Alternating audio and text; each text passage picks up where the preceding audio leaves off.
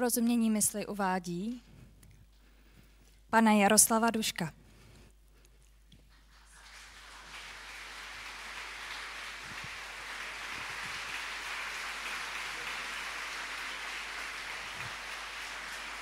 Pana Jana Raka.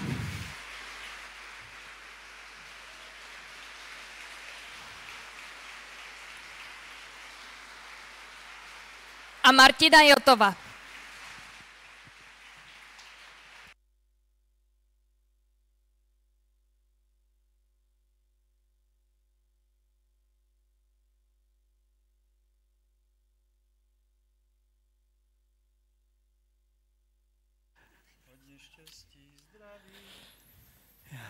Hodně štěstí, drahý Martine. Hodně štěstí, zdraví.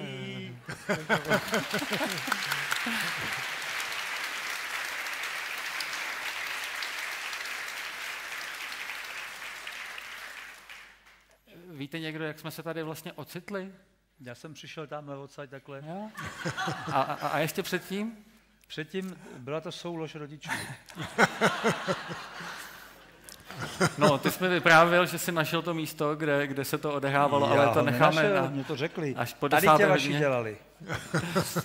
Já jsem se ocitl v tom domě, kde mě naši dělali a když mi tam řekla ta teta, a tady tě vaši dělali, tak jsem zavolal tátovi a říkám, tati, jsem tam, Uuu. já cítím krásnou zpětnou vazbu a to je příjemné hned při úvodních slovech. A já říkám, tati, jsem tam, kde jste mě s mámou dělali, víš, kde jsem? A on řekl, a on řekl, možností je víc. A já jsem řekl, jsem v Bystřici. A on řekl, to je vel, velmi pravděpodobný. Takže já jsem byl stvořen v Beskydech. Takže kde vy, pánové?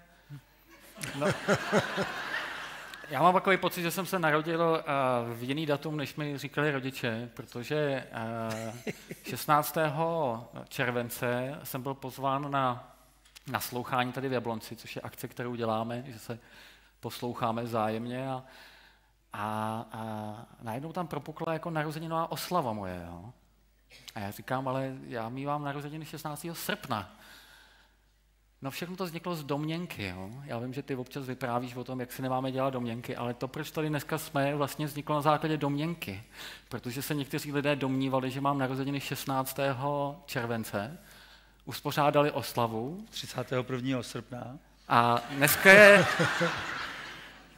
A, a, a pozvali, pozvali nějaký hosty, jo? A největší sranda byla, že my jsme chtěli uh, Honzu a, a, a Jardu zorganizovat, aby sem jako přijeli. A já takhle jako volám, volám Jardovi a říkám, hele Jardo, my bychom fakt už jako s tím chtěli pohnout, jo? jestli bys teda nemohl uh, přijet za námi. A oni už tajně připravovali tuhle tu party dnešní.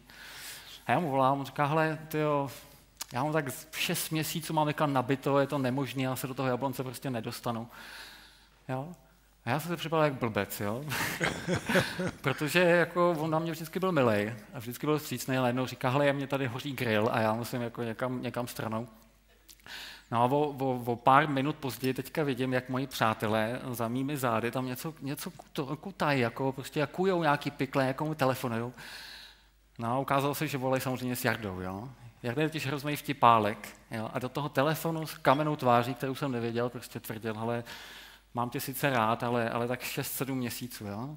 A o hodinu později najednou mi oznámějí, jo, hele, už musíme s pravdou ven. Jarda Já přijede. vůbec tu historku nepoznávám. Ale jediný hodný člověk byl, protože to, to bylo spiklenectví mnoha, mnoha úžasných lidí, ale jediný hodný člověk byl Honzarák. Že? Takže ten to jediný vykecal, jo? On mi volá do telefonu a, a, a říká, hele, tak my se stejně potkáme toho 31. srpna. A, a já říkám, o tom nic nevím. A, a on za, no to jsem se asi spletl. Já mám na organizování těchto těch záležitostí manaželku, rozumíš, a to, tohle jsme nějak proflákli, no, že... Já jsem se jenom chtěl vrátit ještě k těm narozeninám a svátkům tedy, jo. Já jsem Jan, jestli to nepletu, jo, Nepomuk. Jan Rak. No, no, Jan, ale, ale ne, Nepomucký, jo, a to je, myslím, 16. května, ale pak je ještě Jan ten druhý. Svatojanská noc? No, no a červen. to je někdy v červnu, no, takže já mám k svátkům jako spousta lidí gratuluje dvakrát a už nikoho nevyvádím z omylu, jako to je v pohodě, jako když přinesu nějaký dáreček. A narozeniny mám taky dvakrát, jo, protože v únoru ještě jedny a pak ještě jednou jsem přežil havárii na kole, takže to mám 24. srpna, jo.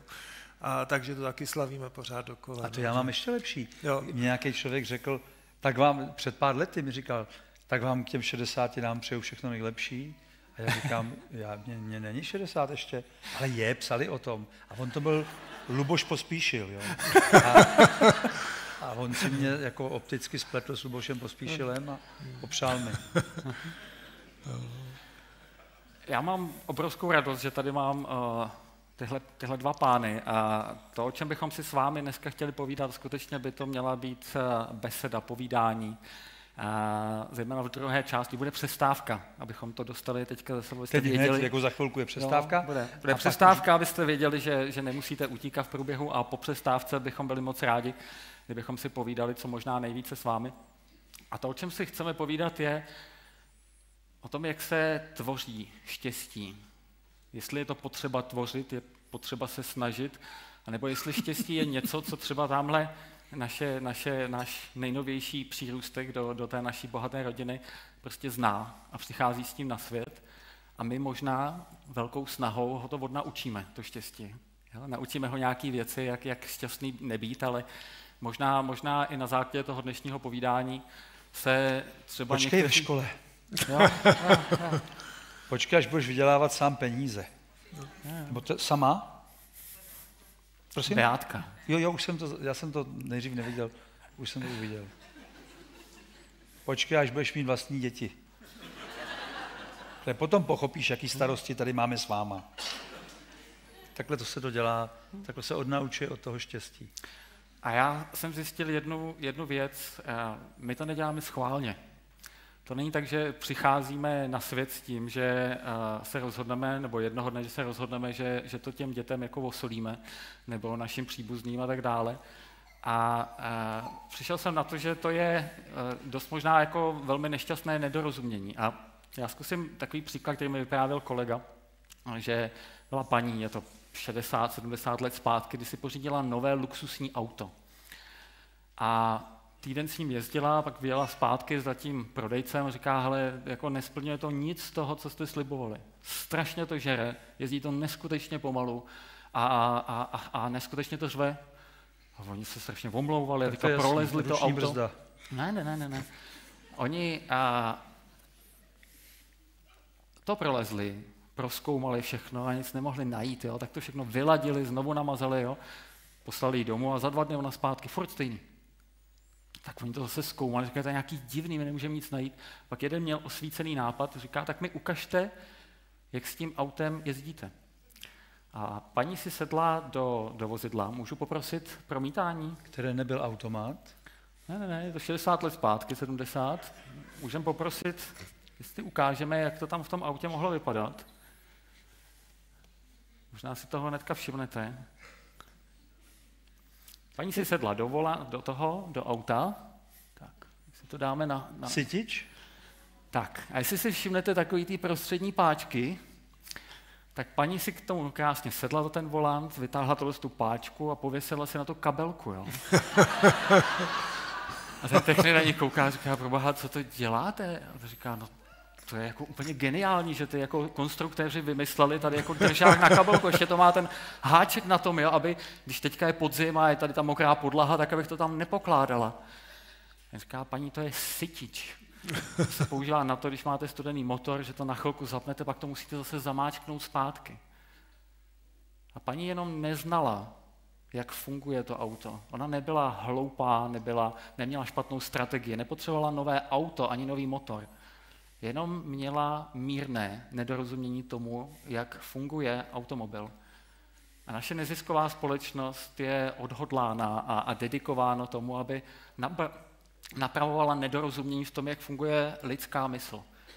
A jsme přesvědčeni o tom, že pod nánosem všeho toho našeho myšlení a domněnek a, a, a způsobu, jak, jak pracujeme s tou naší myslí, for, pořád leží to miminko šťastné.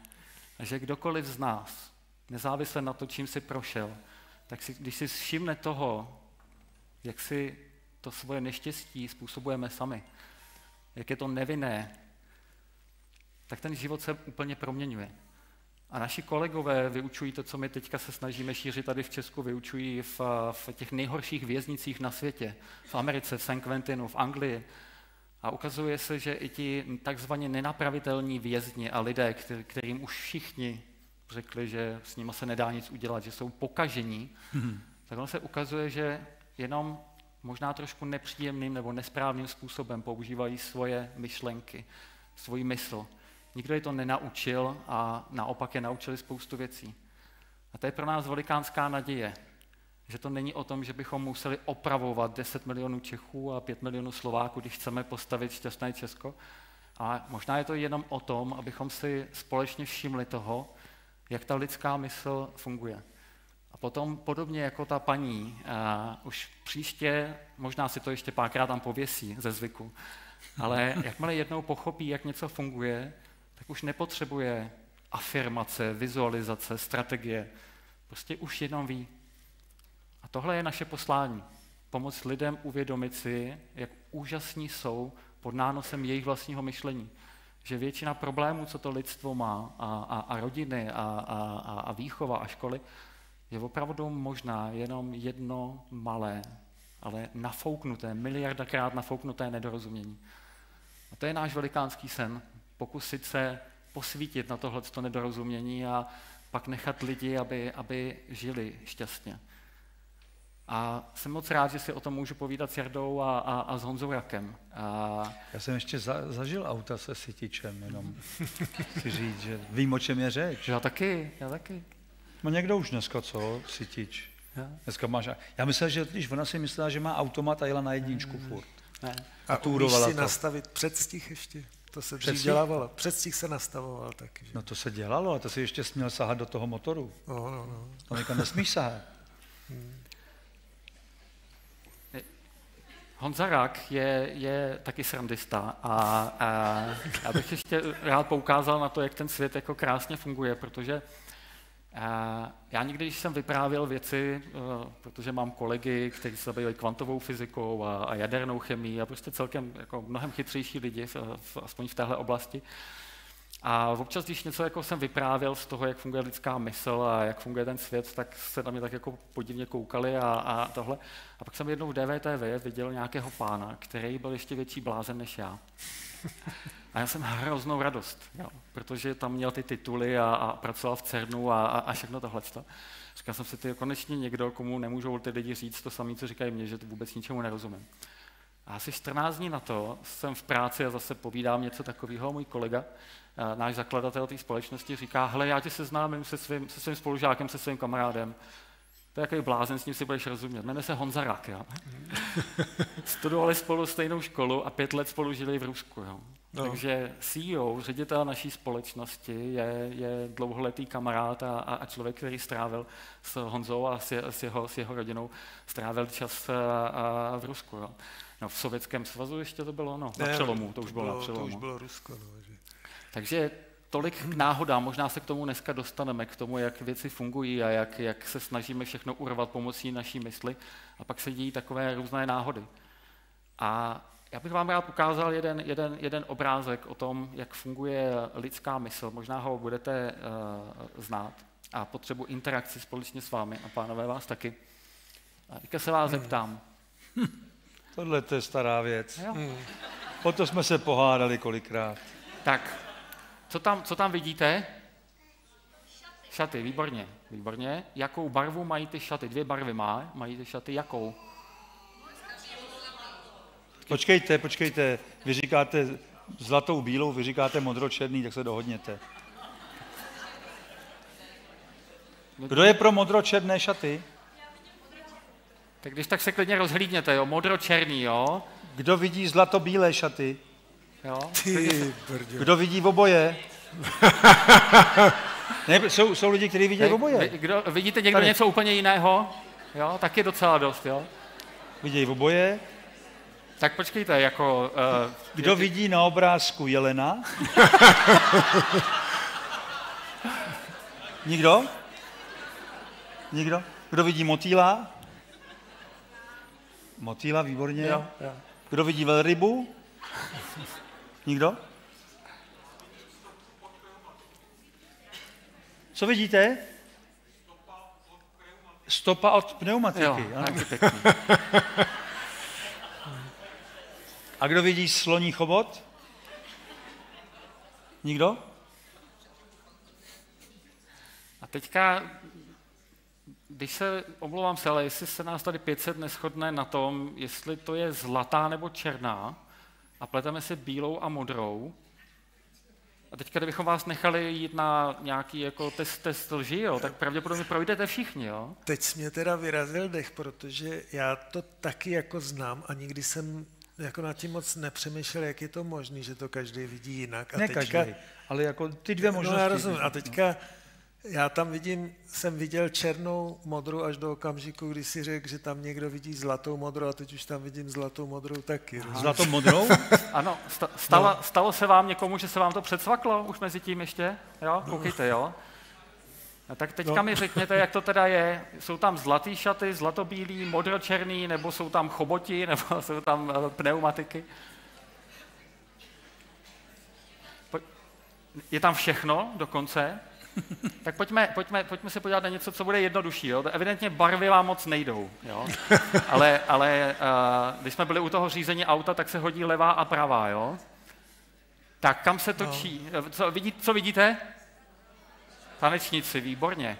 Tak kam se točí? Po směru hodinových ručiček nebo proti směru hodinových ručiček?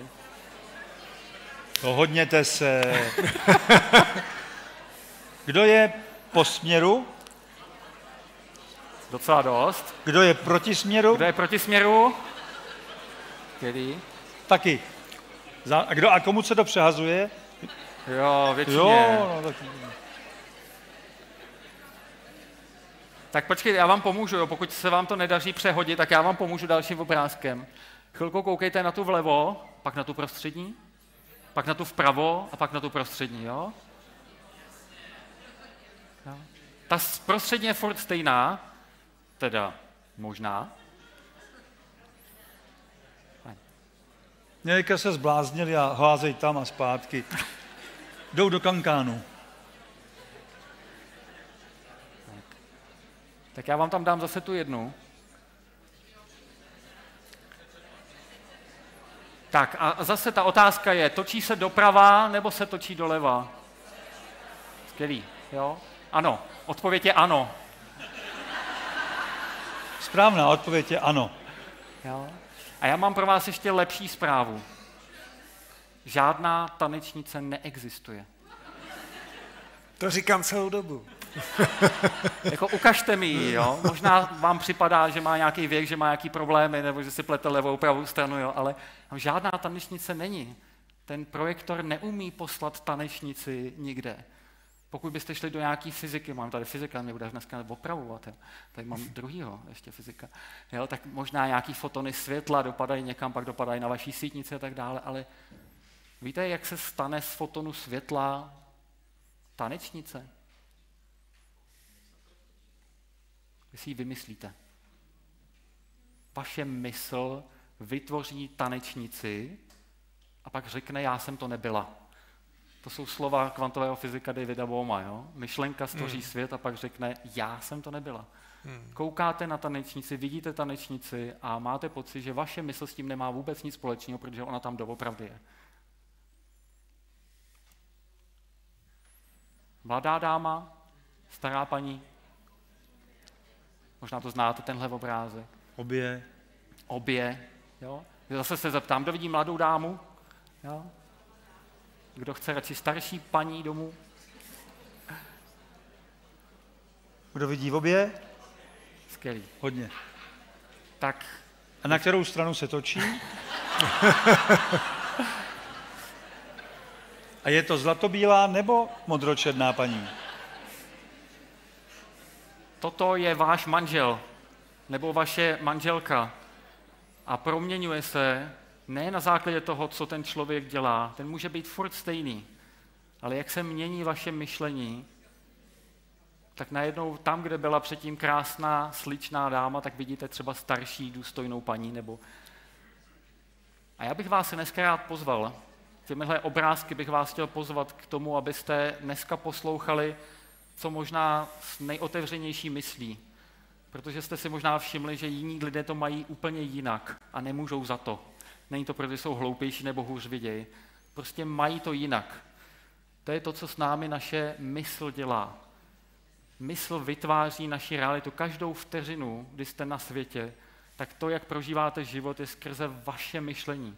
A když se mění vaše myšlení, tak se mění vaše realita. To je ten důvod, proč se furt lidi hádají. To není o tom, že by přirozeně přišli na svět a museli se hádat, ale nám každému ten svět připadá úplně jinak. A tady jste si to vyzkoušeli na jednoduchých věcech, jako je doleva doprava, žlutá, modrá, zlatá. Ale vemte si, že se začneme bavit o věcech, jako je morálka, co je správné, jaká je správná strategie, anebo co je lepší. Tam vždycky to bude nejasný. A teďka 500 lidí, 500 rozdílných názorů. Tak, jak jsme postavení, tak jsme docela slušně, nám to ta příroda jako rozdala ty karty zajímavým způsobem na to, aby, aby ta hra byla, byla zajímavá a zábavná.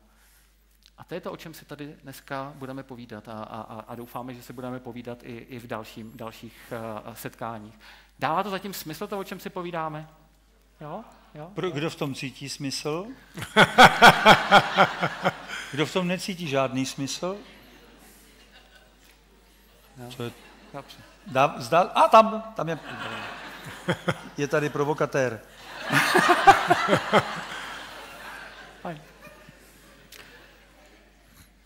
Pro mě byla obrovská změna v životě, kdy, kdy uh, do mě šťouchl právě kolega a jsme jeli někde v Německu a on mi říkal, on takový poznámky jako dělá. Já říkal, jako jsme jeli někde a on říká, hele, a, a, a víš, že jako třetina teďka veškeré ekonomiky vychází z teorie jako kvantový, kvantový mechaniky a ty nikdo nerozumí. Říkal, no, to nevím, ale, ale jako je to zajímavé, určitě ti věřím. Ne? A tak jsem začal studovat. A do té doby jsem byl středoškolsky krásně naivní, že jsem si myslel, že ten svět funguje úplně jednoznačně, jo? že prostě tam je nějaký vnější svět, který je objektivní a já ho možná přesně nebo méně přesně vnímám. Ale se ukáže, že začnete studovat trošičku kvantovou fyziku, kvantovou mechaniku, tak ono je to jako hodně, ale hodně jinak. A já mám takový tušení, že ty se s tím taky docela potkával a že tvým oblíbeným tématem je něco, co mě taky fascinuje, což je role vědomí v kvantové fyzice. Hmm. Mohl bys nám udělat takový jako letmý průnik nebo průlet eh, tím, co, co, co tebe fascinuje na, na té kvantové fyzice a jaký to má pro tebe dopad do toho, do toho života a případně jaký dopad to má na to, jak se koukáme na štěstí a na to, na, na to šťastné Česko. Jasně. Hele, to, to, jak jsi říkal, že tobě mm, něco změnilo jako život, jo, tak já se Eh, tady přiznám, že jako když jsem byl, to, je, to už je mnoho let, ještě když jsem dělal v CERNu, jo, tak mě ovlivnilo opravdu dost jako Jardovo ty čtyři dohody, jo, protože tam jsme měli takovou jako společnost eh, jako kamarádů, který, na kterých stál jako ten experiment tenkrát v tom CERNu. A já jsem tam prožíval takový jako období, kdy jsem jako dostal hodně, bych řekl, zodpovědnosti sám jako na sebe. Měl jsem tam nějaký detektorový systém a ten člověk, co mi s tím jako pomáhal, tak někam musel odejít, jako odjet, nebo pak změnil místo, takže to bylo jako všechno na mě. Jo. No a teď, když jsme chodili na ty porady pravidelný, tak ten jeden můj kamarád, teďka je rektor někde v Minster University v tom, v Německu, jo, tak ten vždycky jako říkal, hele, tohle, jak jsi to vymyslel teďka, jo, tak to je prostě, eh, to by se takhle jako nemělo dělat, protože jsme to zkoušeli a, to, a teďka začal jako kritizovat to, co já jsem udělal, jo. A já jsem to vždycky jako tak nějak divně nes, jo. A, a on pak jednou za mnou přišel a povídal, hele, jako ty se vždycky tváříš, jako kdyby jsme tě poli horkou vodou, ale teď já jenom říkám, co si udělal špatně a nemá to s tebou nic společného. Já jsem si v ten okamžik uvědomil, že jsem poslouchal tamhle Jardovo, neber si věci osobně. Jo. A tenkrát jako mi to tolik otevřel jako mysl, že jsem si uvědomil, že vlastně celou tu dobu jsem zasekl jako v nějakým to, jak si říkal, že eh, ta paní si tam věší tu kabelku na ten cítiš, tak jsem si uvědomil, že jsem vlastně dlouhá, možná léta, jako věšel si tu kabelku na ten sítič taky, jo. Mm. A, a tenkrát jsem si prostě uvědomil tenhle ten jako fakt, který souvisí s tím, že, jak se říká, všechno je jinak, jako jo. Tak to si myslím, že je eh, prostě jakoby bariéra, jo, kterou, přes kterou, když se člověk jako přehoupne a uvědomí si, že všechno opravdu může být úplně jinak, než co celý život jakoby na čem jako stavěl, tak se mi ten život hodně proměnil. Například v tom, eh, jakoby v té, eh, jak bych řekl, té klasické kariéře, v tom CERNu a tak, tak eh, se mi obrovsky jakoby otevřely dveře jenom v tom okamžiku, kdy jsem si uvědomil, že kdokoliv bude cokoliv kritizovat na tom, co já jsem udělal, tak se mě to vůbec netýká. Jo? Takže to jenom tady, abych navázal na to, co si před chvilkou říkal. Nicméně pak jsem měl jedno takový, takový velmi silný zážitek v tom, že jsem tu kvantovou fyziku jakoby studoval už na škole samozřejmě a, a potom jako v té profesní kariéře jsme se samozřejmě, eh, ta kvantovka je jakoby denní chleba, že jo? A, a jednou jsem eh, prostě někde, kde si ve Finsku to bylo, eh, jsem chodil běhat a myslím, že tenkrát s nějakým kočárkem možná už to bylo. A A v jednu chvíli jsem se najednou zastavil a uvědomil jsem si, jako kdyby na mě někdo vylil kýbl s vodou, že ty věci, o kterých se, jako ty fyzikové, jako v té fyzice, v té kvantové, který se tam neustále probíhají, že vlastně žádný objekt neexistuje jako takový, že je to jenom jakási imaginární potencialita, která interaguje s vědomím a to vědomí vlastně vytváří si nějaký mentální konstrukt na základě té potenciality, která je vlastně imaginární a není z tohohle světa. Jo. Tak všechny tyhle ty aspekty, když jsem si uvědomil, že to vlastně není jen tak jako v učebnici, rozumíš, když se děcka učí, no tak prostě se to musí nabiflovat a to je celý, ale teď jsem si uvědomil, že ten svět je skutečně takový, že klíčovou roli vlastně v tom, co prožíváme, tak hraje to vědomí, které pozoruje nějakým způsobem mysl, podle mě, jo. A ta mysl vlastně vytváří ten, jak si zmínil toho Davida Boma, jo, tak ten přišel jako jeden z prvních, myslím, s holografickou z, jako verzí vesmíru, jo, že vy pozorujete, jakoby, nebo takhle, něco ve vás pozoruje vaší mysl, jo, a to něco tím pozorováním se jakoby ponoří do iluzorní představy, že to jsem já. Jo. A teďka to, rozumíte, co je to já? Jo, je dobrý si položit tu otázku, rozumíte, jsou to tyhle ty prsty, nebo ten, tato, ta persona tady, co sedí, nebo je to něco dál ještě trochu, nebo je to něco uvnitř mě, nebo je to mozek, rozumíte, co je to já? Buddhisti a jakoby eh, teologové nebo mystici si vlastně, to je jedna ze základních jakoby představ při meditaci, že jo, pokládat si tu otázku, kdo jsem já, co to je, to já, jo.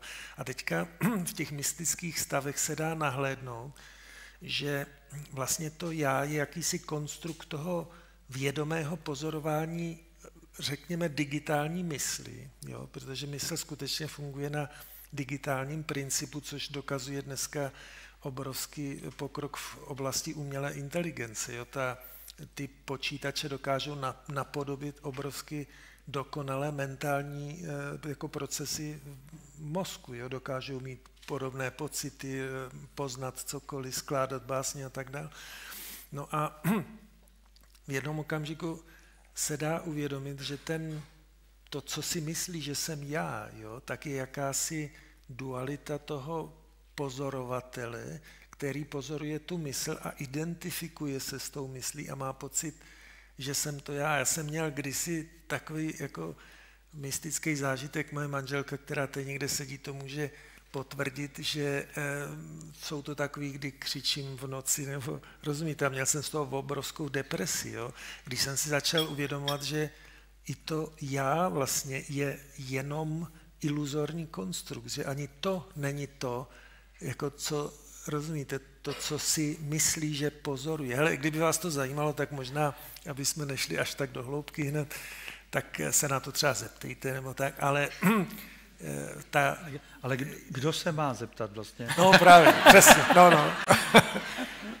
Já se ptám sám sebe, to je jasný. Prostřednictvím vás se ptám sám sebe, ale chtěl jsem jenom říct, že ta, vlastně ta kvantová fyzika, ať vezmete jakýkoliv aspekt eh, toho, co se pozoruje na tom, eh, jako se říká, v tom mikrosvětě, ale ten eh, svět těch jakoby částic, který jakoby tvoří to pole té kvantové fyziky, tak to je i tenhle ten svět, protože to, že já vidím vás nebo cokoliv, tak je pořád ta samá kvantová fyzika, nebejt těch, jak si říkal, fotony, světla podobně, jak bychom se neviděli, neslyšeli. Je to pořád ta samá jakoby písnička. A vlastně ta kvantová fyzika je bohužel, nebo bohu dík, nevím, jak to říct, je prostě podle mě popisuje dokonale, co ta skutečnost nebo realita opravdu je. Je to iluze. Já jsem slyšel, že nevím, jestli to je příběh jenom, ale Richard Feynman, jeden z, z nejvýznamnějších matematiků a, a, a, a jako lidí zabývající kvantovou fyzikou, právě říkal, když se ho fyzikou, tak se ho ptali nějaký studenti, když mu začali klást tyhle ty otázky, jo, tak, tak vždycky na ně říká, pšt, zavřete dveře, jo. To jsou prostě věci, někdy se tomu říká ten kostlivec ve skříni. Fyzici se tímhle s tím nechtějí zabývat. Říkají, jo, vlastně na těch univerzitách je, ale tím se nezabývají, počítají. Kvantová fyzika je no. neskutečně přesná, ty výpočty jsou úžasný, jo, ale, ale lidi se zabývají primárně těma, těma výpočtama a teďka nějaký ty jako filozofické debaty se vedou možná v hospodě, někdy možná, ale většinou to není příliš, příliš žádoucí. Ale přitom ten potenciál toho, ta, ta, ta, ta fyzika je to je nejúspěšnější teorie, kterou lidstvo kdy stvořilo. Opravdu všechny telefony, internet, laser, jo, prostě hologramy, všechno tohle je produktem toho, že, že ta kvantová fyzika opravdu dokonale funguje. A teďka ona říká strašně divné věci. Já myslím, že se k tomu v průběhu toho večera ještě dostaneme, že říká opravdu divné věci. Ale já bych to doplnil možná ještě ten princip, co ty si nazval, jo, tak to, tomu se říká shut up and calculate, jako drž ústa a ano. počítej. Jo? Ano. A to je skutečně jako prosazovaná strategie ve vědě, jo? že totiž, když ta kvantová, eh, skutečně, no, že ta kvantová fyzika vznikla vlastně na začátku 20. století, a vznikly i ty jako obory, jako kvantový mysticismus a podobně. Spousta lidí, David Bohm si zmínil, ale všechny Schrödinger, Heisenberg a všichni ti se zabývali vlastně tím filozofickým aspektem, co to znamená pro to naše chápání, co je to vlastně realita. A to celé se více-méně jako skončil vlastně koncem druhé světové války projektem Manhattan, jo, kdy se vyrobila atomová bomba a zjistilo se, že ta kvantová fyzika není jenom filozofie, jakoby, jo, a vlastně od té doby se ten eh, filozofický aspekt jako hodně potlačí a já mám pocit, a řekl bych docela jako reálný, že většina dnešních jako fyziků, co se profesionálně zabývá kvantovou fyzikou, tak se snaží najít takovou interpretaci, která by jako vyloučila jakýkoliv absurdity a jako dokázala vysvětlit to naše bytí jakoby klasicky tak, jak to bylo před tou revolucí na začátku 20. století, no jen tak, abych to doplnil. Jardo, já vím, že ty si začínáš pohrávat s kvantovou fyzikou teďka. Jo? Jo, ty myslíš, no tak jako. To. Ne, shodou, už jsi byl. Shodou náhod, dneska jsem byl na první čtené zkoušce eh, takového pětidílného, pětidílného filmu pro slovenskou televizi Vojo a dneska tam akcentovala paní režisérka, autorka scénáře, ona přímo říkala, eh, ty seš takový Jan Rak. Eh, je to bývalý kvantový fyzik, je ta postava, kterou hraju. Takže, eh, ale o těch, o kvantové fyzice je tam zmínka jedna nebo dvě jenom, jinak je to o, o úplně jiných záležitostech, které se týkají kvantové fyziky z nějakého hlediska, ale já jako ta postava to tam takhle nereflektuju přes kvantovou fyziku, ale patrně jako ten bývalý kvantový fyzik jsem otevřený těm možnostem, že se otvírají portály mezi dimenzemi a někdo přichází a někdo zase chce odejít a tak dále, o čemž je ta, mimo jiné, o, o tom je ta záležitost, tak takhle shodou náhod a přímo řekla takový Jan Rak, jakože jsem. No, to mi dneska tam řekli. Tě urazili. Ale postava se jmenuje Ondřej. Jo. Tak abys to věděl. Jo, jasně. Tak to si měl na mysli asi, že jo. Jinak kvantovou fyziku, to mě pronásleduje od dětství, ale já nevěděl, že to je kvantová fyzika. A to jsi byl, že jsi byl na dvou místech najednou, nebo že si čas pro tebe neznamenal nic tak jako úplně... To byla běžná záležitost, ale to bych ani nějak nevypichoval. To byly jasné věci. Například jsem spal v posteli a byl jsem ve snu úplně jinde. Na dvou místech najednou dokáže každý. To není žádný problém. A já jsem si spíš jako dítě opravdu kladl tu otázku, kde je to já. Mě to zajímalo asi od čtyř let zhruba, počítám, od čtyř, od pěti. Kde je to já? Všichni říkali furt já, já, já něco dělám. Já to jsem, a já jsem to chtěl jako vycejtit, kde to je, jako procejtit tam. A i jsem si našel takový místečko, kde by to jako mohlo být, a to vám nebudu prozrazovat, protože každý pěkně, si to najde, jako, tak, jak potřebuje on. Žádné návody v tomto smyslu. A samozřejmě e, mě bavily ty věci tvorby toho života, to znamená Jaroslav Foglar, že jo, Karel Maj, Vinetů, kvantoví fyzikové par excellence, mm. kteří neustále nás upozorňovali na to, že vytváříme tu realitu, že si ji tvoříme a že můžeme tvořit ten modrý život. Dneska by se to myslelo, že to je ODS, ale tehdy to byl modrý život. Prostě to vyplňovali ty kluci, ty modrý okýnka, dělali ty takzvané dobré skutky nebo něco příjemného. No a prostě tyhle ty lidi jakoby upozorňovali od dětství, člověka naváděli na to, že to je na tobě, pro co se rozhodneš a jakým způsobem zvolíš tu cestu svou a že tam byli i ti, i to bratrstvo kočičí pracky tam bylo samozřejmě, ta stínadla a tak dále. A vedle toho tam byli ty kluci, ty rychlé šípy, no dneska by to už, asi už bylo všechno nekorektní a no ne, protože dneska by někdo protestoval, že jsou to jenom kluci, že jo, to, to nejde. E, To už je velmi diskriminační záležitost při dnešní korektní době, takže by museli aspoň někdo z nich mít vagínu. A, nebo aspoň občas. A, e, takže dneska už je takovéhle seriály se moc nechytnou, nebo takováhle témata. Tak jo, takže to mě bavilo. Tyhle, ty, tyhle ty příběhy, to, jak se to... eh, A do toho tam vždycky Foglar měl ty tajemný, že jo, pronikaly ty temné figury, takový ty podivné bytosti, ty, to, co má Němcová, že jo, Viktorku. To, to, co Jan Patočka eh, označil jako dialog dne a noci, že jo, kdy ty noční, jak si křičel ze spaní, ty noční postavy, ta Viktorka, tenhle ten, jak on se jmenuje, Derner, myslím, šílený Derner, který lomcuje tou klikou chaty v jezerní kotlině, oni jsou vevnitř, že on tam lomcuje klikou ten svok, tak vždycky se vynořují tyhle ty zvláštní, jako iracionální, prapodivné bytosti, které úplně nejsou tak jako racionalizovatelný a ovládá je něco, čemu ty ostatní jako nerozumí a proti tomu on stavil ten svět těch kluků, kteří, jak víme, Mirek Dušín krásně voněl mídlem. E, tou, když se k němu Jarka naklonil, tak ucítil tu vůně. A uvědomil si, že cítí tu čistotu to, toho, toho, toho mídla. No tak to byly ty... A vidíte? A to jsem ještě toho moc neřekl. A už je to tady. Stačí zmínit korektnost, pár pohlaví a už to nefunguje.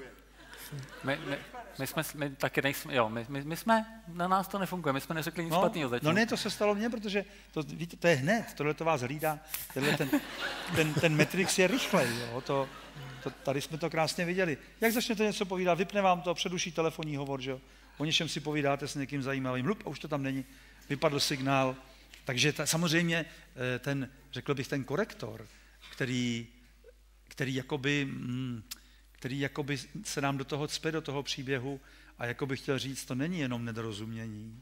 To by bylo pěkné, kdyby to bylo jenom nedorozumění. Tady přímo je jaksi, jsou zájemci o to, aby nedorozumění stále zůstávalo. To je v té hře, že jo? to je tam hozeno do hry. A to je ta tahanice určitá, která, eh, která neustále probíhá, kdy na jednu stranu je možno poukázat na to, co říkáš, a na druhou stranu pořád je tu jakási chytlavá, chytlavá energie, která ti nabízí tu náhradní existenci, ovšem s těmi příchutěmi, eh, pachutěmi těch různých rozhorčení, nesmyslů, soutěžení, závodění, ale máš tam t- tento světlo na konci tunelu, že budeš opravdu někde, někam to dotáhneš, bude to super, možná těsně před smrtí, doufejme aspoň, že jako, že sklidíš ty, ty plody té své těžké dřiny, té práce a tam je, a tyhle ty hráči tam hrajou, že jo, taky. To se nedá nic dělat.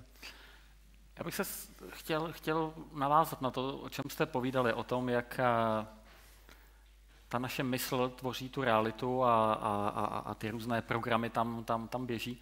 Já jsem se bavil s Honzou jednou a, a, a on povídá, že a, eh, jako omezení na světě existují, ale jenom když jim věříme. Hmm. A já si pamatuju, nebo mě vyprávěl náš, náš kolega, náš, náš společný známý, že před 25 eh, lety eh, přijeli právě z Ruska a, zjistili, že jako eh, kariéra vědce není úplně jako ta nejlukrativnější v té době, že se s tím jako rodina uživit nedá, tak se rozhodli, že začnou podnikat. A protože něco věděli o laserech a, a shodou okolností i o elektronových paprscích a elektronovém mikroskopu a tak, tak se rozhodli, že začnou dělat hologramy a že budou zapisovat pomocí elektronového svazku. A teďka jezdili lidi ze Švýcarska a z Německa, kteří ovládali celý ten trh a říkali, to nemůže fungovat. To hmm. prostě nejde. A když třem jako českým klukům v garáži řeknete, že něco nejde, tak dostanou tu nejlepší motivaci, která existuje. Za tři roky ten stroj stál a, a vytvořili se, začaly se vytvářet hologramy, které dneska zdobí uh, různé, různé uh, bezpečnostní prvky na bankovkách, na, na uh, občanských průkazech a pasech. Takže z Česka takovým jako drobným poš, po, poškádlením toho, že něco nejde. A oni tomu určitě věřili, to možná ani nebylo, že je chtěli jako od toho odradit, jo? Oni opravdu uh, prostě fakt pevně věřili tomu, že, že, že něco nejde. A my bychom se moc rádi podívali na to, jak moc je tohle pravda, jestli tohle ta omezení skutečně někde existují. Často se povídá o tom, že a, abychom dosáhli toho, že třeba z Česka bude a, nějaká šťastná země, že budeme šťastní, že to musí trvat dlouho, že se toho musí hodně udělat. A ten čas je jedním z těch omezení. Prostě když to tady dlouho bylo špatně, tak to tady musí, bude trvat dlouho, než to může být dobře. A tenhle ten náš záměr, tenhle ten projekt, říkáme mu Šťastné Česko, je, je trošku o tom, abychom se podívali na zoubky těmhle těm našim představám a, a těmhle těm přesvědčením. Uh, povídáme si s lidmi, to je to, co děláme my v rámci porozumění mysli, ta naši, naše neziskovka. Trénujeme lidi v tom, aby si povídali s jinými lidmi a pomáhali jim podívat se na ta omezení, která si v sobě nosí. Protože je možné, že se ukáže, že zlatá není zlatá a že doleva nemusí být doleva a může to být doprava. A my máme, my máme uh, štěstí, že narážíme na úžasné, úžasné lidi a je tady mezi námi uh, dvojce, dvojce nádherných bytostí, které jsem měl štěstí potkat před uh, několika lety a kvůli kterým tady dneska taky jsme. Jsou to lidé, kteří mějí, měli tu, dá se říct, smůlu, že eh, jejich syn onemocněl rakovinou. Někde v 19 letech, jestli to říkám správně, tak onemocněl rakovinou a, a chvilku to vypadalo, že to možná jako bude špatný, pak to chvilku vypadalo, že to bude dobrý. A když to vypadalo, že to bude fakt dobrý, tak nakonec se ukázalo, že to je jako opravdu špatný a, a, a jejich syn Krištof nakonec, nakonec odešel. A my jsme se potkali ještě v době, kdy byl Krištof naživu a, a, a měl jsem to štěstí, že jsem, že jsem ho měl možnost poznat. A pak jsme se ještě víc začali potkávat s, s Tiborem a s Marií po té, co, co, co odešel. A já bych byl moc rád, jestli byste za námi mohli jít teďka sem na pódium, já vám tady udělám místo, a jestli bychom mohli pozdílet, co se stalo. Já, já jdu tam, já půjdu tam. Já poskočím sem. Jo, tak já se posunu. Dobrý. Ahoj. Ahoj.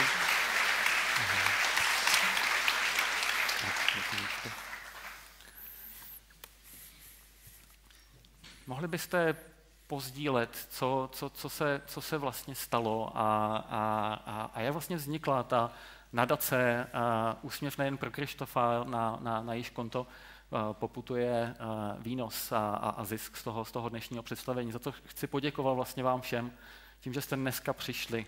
Mnozí z vás dokonce přispěli mnohem víc. My jsme dali nějakou cenu stupenky, ale, ale obrovská část z vás vlastně přispěla mnohem větší částkou.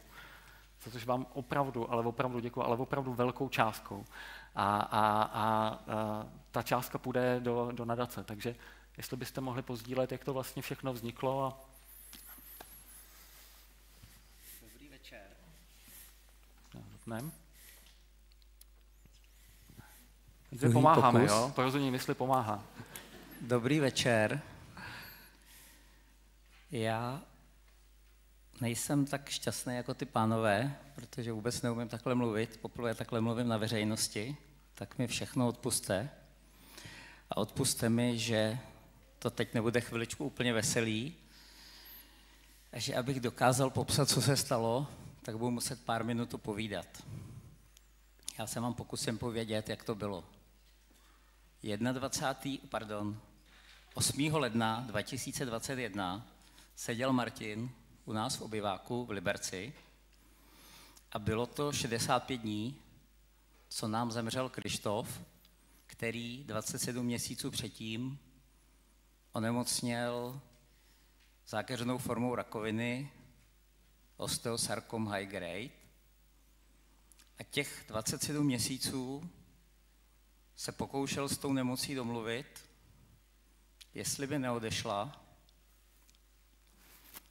Poprvé se mu to dokonce povedlo a přednosta onkoortopedické kliniky, docent Tungl, říkal, že takovýhle ústup osteosarkomu za celý život nezažil, za 60 let, a že si má zarámovat lékařskou zprávu. Po celých těch 27 měsíců jsme byli v obrovském strachu a napětí. Krištof byl velice statečný, houževnatý, víc myslel na druhý než na sebe.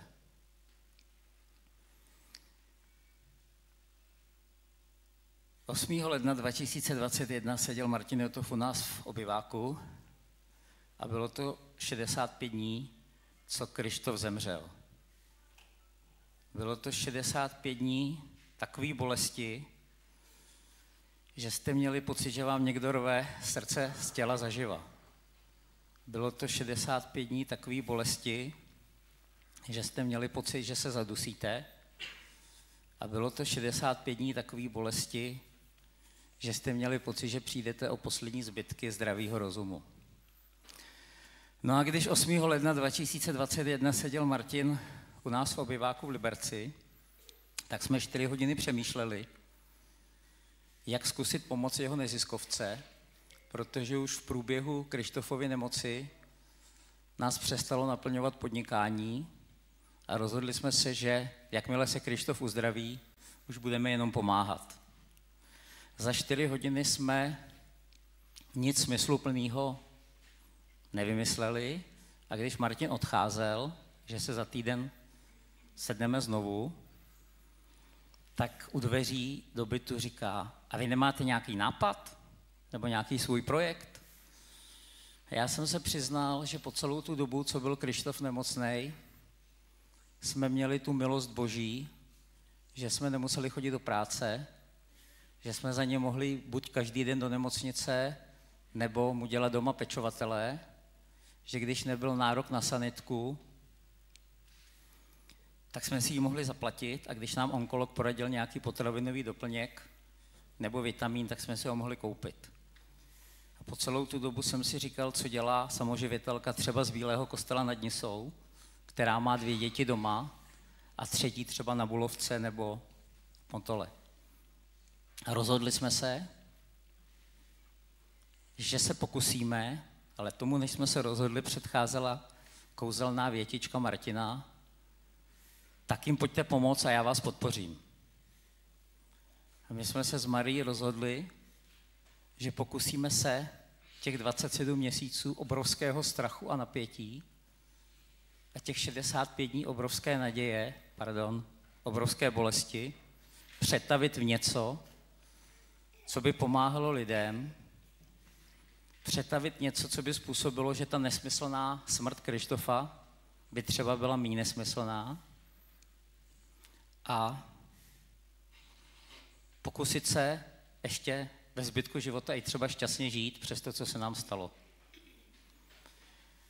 Do tří měsíců od téhle chvíle vznikl nadační fond Úsměv nejen pro Krištofa, který je tu pro všechny onkologický, ale i neonkologický pacienty, pacienty v celé zemi, ale aktivně vyhledáváme, zaměřujeme se na osamělé, opuštěné, bezbrané, bezmocné, sociálně slabé, propadlé sociálním systémem, na hranici nebo pod hranicí chudoby.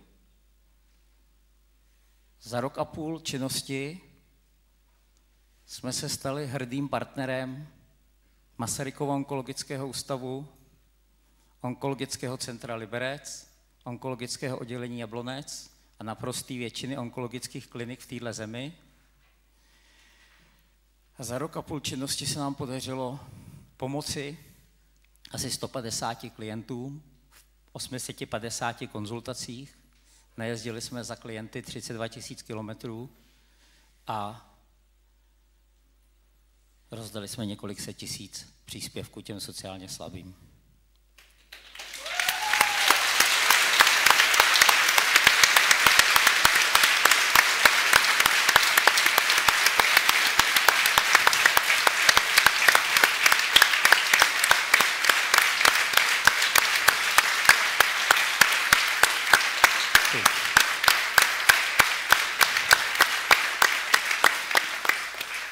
Na závěr bych chtěl poděkovat každému jednomu z vás, kdo za koupením stupenky výrazně podpořil náš nadační fond. Chtěl bych poděkovat Honzovi a Jardovi, že přijeli a díky tomu vy jste si mohli koupit stupenku. A chtěl bych poděkovat Martinovi, že tehdy řekl, nejenom, že řekl tu větu, udělej to, to já vás podpořím, ale podpořil nás obrovskou finanční částkou a podpořil nás neomezenou kapacitou času, kterou nám zpočátku věnoval. Děkuji.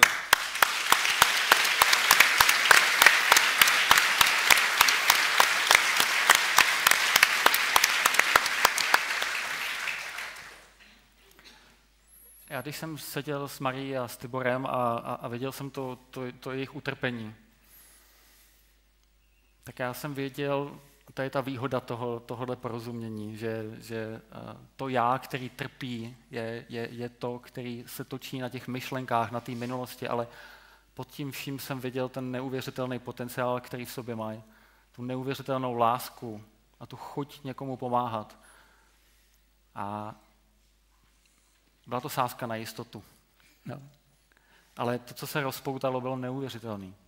Nejen o nich dvou, ale kdybyste viděli, co se strhlo v celé České republice, kolik lidí oni vlastně inspirovali k tomu, aby jim začali pomáhat. To oni každý den mi skoro telefonovali, říkali, to bys nevěřil, tenhle nám pomohl, tamhle ten, i od lidí, kteří nikdy nehnuli ani, ani prstem pro to, aby někomu pomáhali, tak najednou z ničeho nic.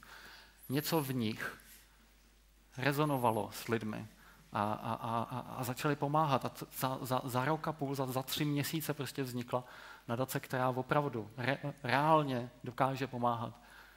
Maruško, co se, co, se, co se odehrávalo za tebe? Vy jste byli, to nebylo tak, že najednou jsme si povídali, najednou všechno bylo růžový a krásný a, a najednou jste zapomněli, že, že váš syn uh, prostě odešel a, a, a byli jste šťastní. Pokud vím, tak to bolelo úplně stejně.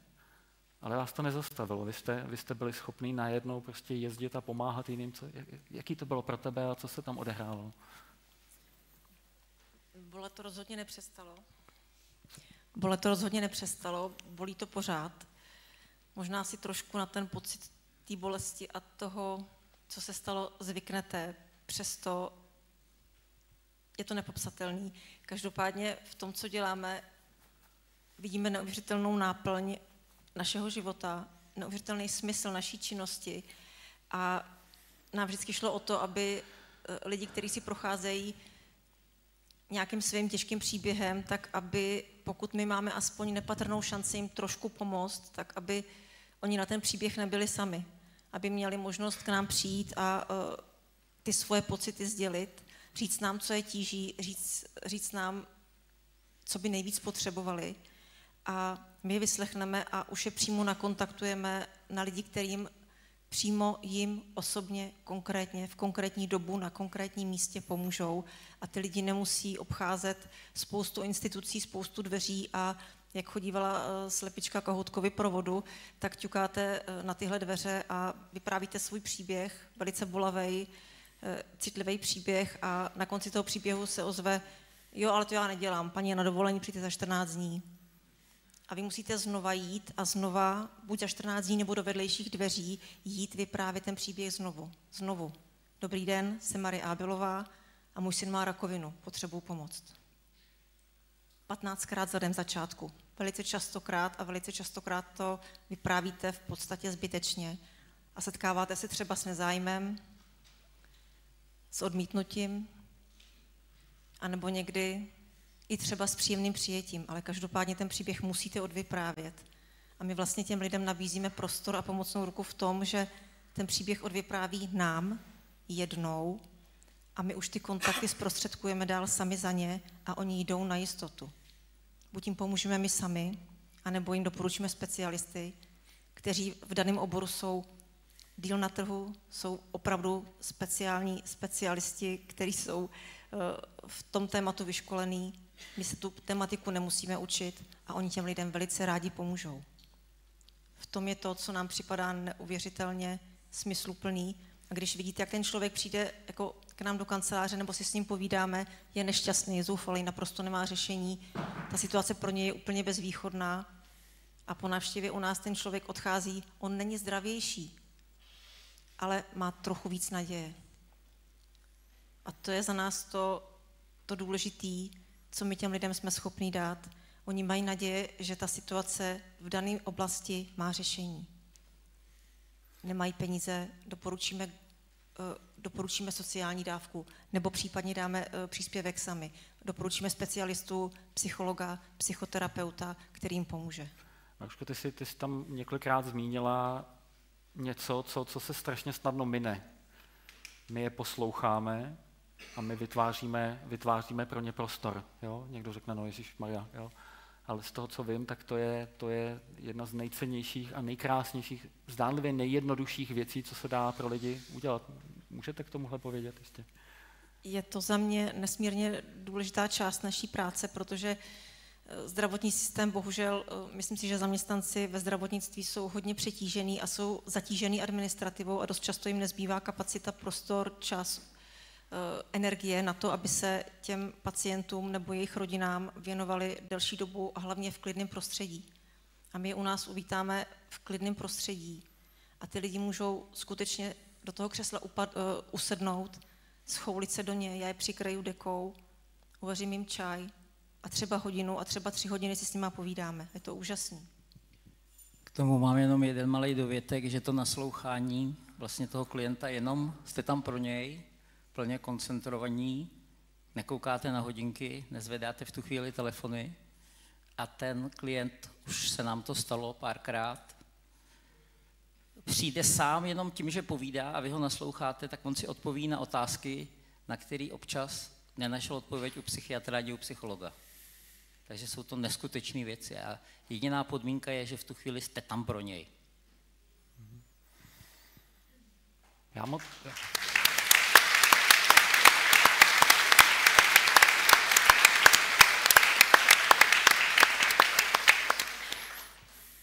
Já bych, já moc děkuju, že, že, že jste tady přišli a, a sdíleli a, a za všechno, co děláte. A, a, a možná bych tam vypíchl ty, ty, ty, tyhle ty dvě, dvě věci, jo? že nemusíte čekat, až se budete cítit šťastný a spokojený a že to přijde v nějaké okamžiky. Uprostřed toho, toho nejhoršího a nejtěžšího, to, kým my jsme, ten náš potenciál, to zdravý já, to skutečný já, ať už mu říkáme čistý vědomí nebo vyšší já, to je jedno, prostě něco v nás, prostě není dotčeno tím strašným příběhem, který se nám děje. To je to, co se stalo Tiborovi a, a Marii, že navzdory tomu všemu a, a hodně lidí prostě po dvou měsících sedí a, a, a jsou v depresi a vlastně nemají žádnou šanci sehnout a oni vyrazili do světa. A oni ode mě toho moc nepotřebovali potřebovali jednu otázku, kdybyste mohli, co byste dělali. A potom prostor. Já jsem s nimi seděl hodiny a hodiny a jenom jsem prostě byl s nima. A my vždycky přemýšlíme, že ta změna velikánská musí být velikánská a že to bude těžký. Co kdyby to začalo tady tímhle s tím? Co kdyby ten největší dar, který nestojí nic finančně, byl zároveň tím nejcennějším? Být s tím druhým člověkem, být mu přítomen, naslouchat, nechat toho člověka, aby si sám přišel na ta svoje řešení, ne mu dávat rady. Fajn, určitě je prostor pro rady, ale to, co děláte vy pro ty lidi, je, je tak neuvěřitelně cené. A, a já vím, že odcházejí z, z, z, vaší, z vašich kanceláří, z vaší kanceláře odcházejí opravdu s tou, s tou nadějí. Takže ta nezdolnost, která v nás je, ta nepotřeba čekat na to, až budou perfektní podmínky, až někdo jiný něco zařídí, jak ten systém je těžký. Že ta změna nemusí vyžadovat něco velikánského, jakoby co tam mysl se vytváří, že aby se změnil Česko, tak se musí změnit celý systém. Co kdyby to mohlo začít takovouhle maličkostí, že se více posloucháme, že si vytváříme ten prostor. Protože kdykoliv sedí dva lidé a začnou se poslouchat, tak se jejich myšlení sklidní. Když skutečně posloucháte, tak to znamená, že musíte poslouchat něco jiného než ten hlas v hlavě, toho kritika, toho soudce, toho, toho radiče, Prostě posloucháte toho druhého člověka. Když se vaše mysl sklidní a skutečně posloucháte, ten druhý člověk se sklidní. Když zmizí všechno to přemýšlení na obou stranách, tak si všimnete, že jste propojený. Ono nedochází k tomu, že se propojíme s někým. My celou dobu jsme propojení. A jediný, co tomu brání, abychom to viděli, je naše vlastní myšlení. Co kdyby to, tohle byl ten začátek toho, když se bavíme o tom tvoření šťastného Česka? že nemusíme čekat, ale jenom, jenom spolu, spolu víc budeme. A já jsem to zažil s Jardou, že jsem ho znal z televize a z, prostě z YouTube a tak dále, ale já jsem ho neznal vůbec. Reálně to je, doufám, že ho to ne, ne, ne, nějak nestrapním nebo tohle, ale to je tak úžasný člověk. Lidsky. No, tak to už je vrchol trapnosti. tak si tady ze mě udělejte toho fackovacího jo, panáka. a ne díky tomu humoru a těmhle věcem. To není, o tom to není. To, že nás pozval k sobě, k sobě domů a ukázal nám, kde bydlí a to, že, to, že uh, pomáhá a, a ne, ne, nepůjdu do detailu, nebudu prozrazovat, jo, ale prostě ten neuvěřitelně lidský, lidský přístup. To není něco, co se učíme, není to nějaká strategie ale kdykoliv jsme byli společně, tak prostě byl, byl, byl přítomen. A, a strašně rychle mezi náma vzniklo pro mě velmi silné spojení a proto jako je to neuvěřitelný dárek, co, co, co pro mě moji kamarádi a kolegové udělali, že, že, že, že mi vás přivedli. A, a já bych za sebe řekl, že vás všechny nám přivedl do, do života. A já jsem rád, že začínáme v Jablonci s tohle s tou eh, řadou besed. A, a, a tím takovým naším tajným záměrem je, že to neskončí u jedné besedy, protože beseda nikdy nic nevyřešila. Ale že možná se tady jinde na různých akcích začneme víc potkávat že si vzpomenete třeba na příběh eh, Tibora a, a, a Marušky, jak, jak pomáhají jiným lidem, že to nejsou psychologové, psychiatři, že neznají žádnou z 350 psychologických teorií, teorií, ale tím jenom, že tam s tím člověkem jsou, že ho poslouchají, že na chvilku, třeba i na dlouhé hodiny, prostě odhodí všechny svoje starosti a jsou tam jenom pro toho člověka. A ten člověk najednou odchází a nepotřebuje antidepresiva, nepotřebuje třeba ani psychologa, psychiatra, jenom tím, že dva lidi, kteří si něčím podobným prošli, tak s tím člověkem sedí a, a, a poslouchají.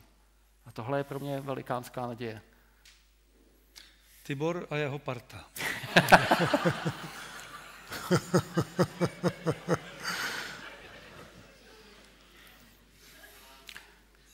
Já bych navrhl pauzu. A během, během pauzy budete mít, eh, já nevím přesně kde, ale to je taky rychlý šípy, vždycky něco hledali, takže vaším úkolem bude najít místa, kde budete moct napsat eh, dotazy. A druhá část té, té besedy bude, bude eh, interaktivní, budeme mít i mikrofon, takže budete moct ty dotazy klást napřímo, ale, ale pokud nechcete nebo nemůžete, tak zatím napište, napište ty dotazy na papírky, my pak z toho vylosujeme eh, výherce kvantové otázky budeme dávat tady Janovi Rakovi, převtělenému. A, a, ale můžete se ptát na cokoliv. Na cokoliv z oblasti kvantové fyziky, štěstí, porozumění mysli. Potkáme se tady společně zhruba za nějakých 20, 20 minut. Eh, máte možnost se tam občerstvit a, a budeme společně tvořit šťastné Česko. Tak, za chvilku na viděnou.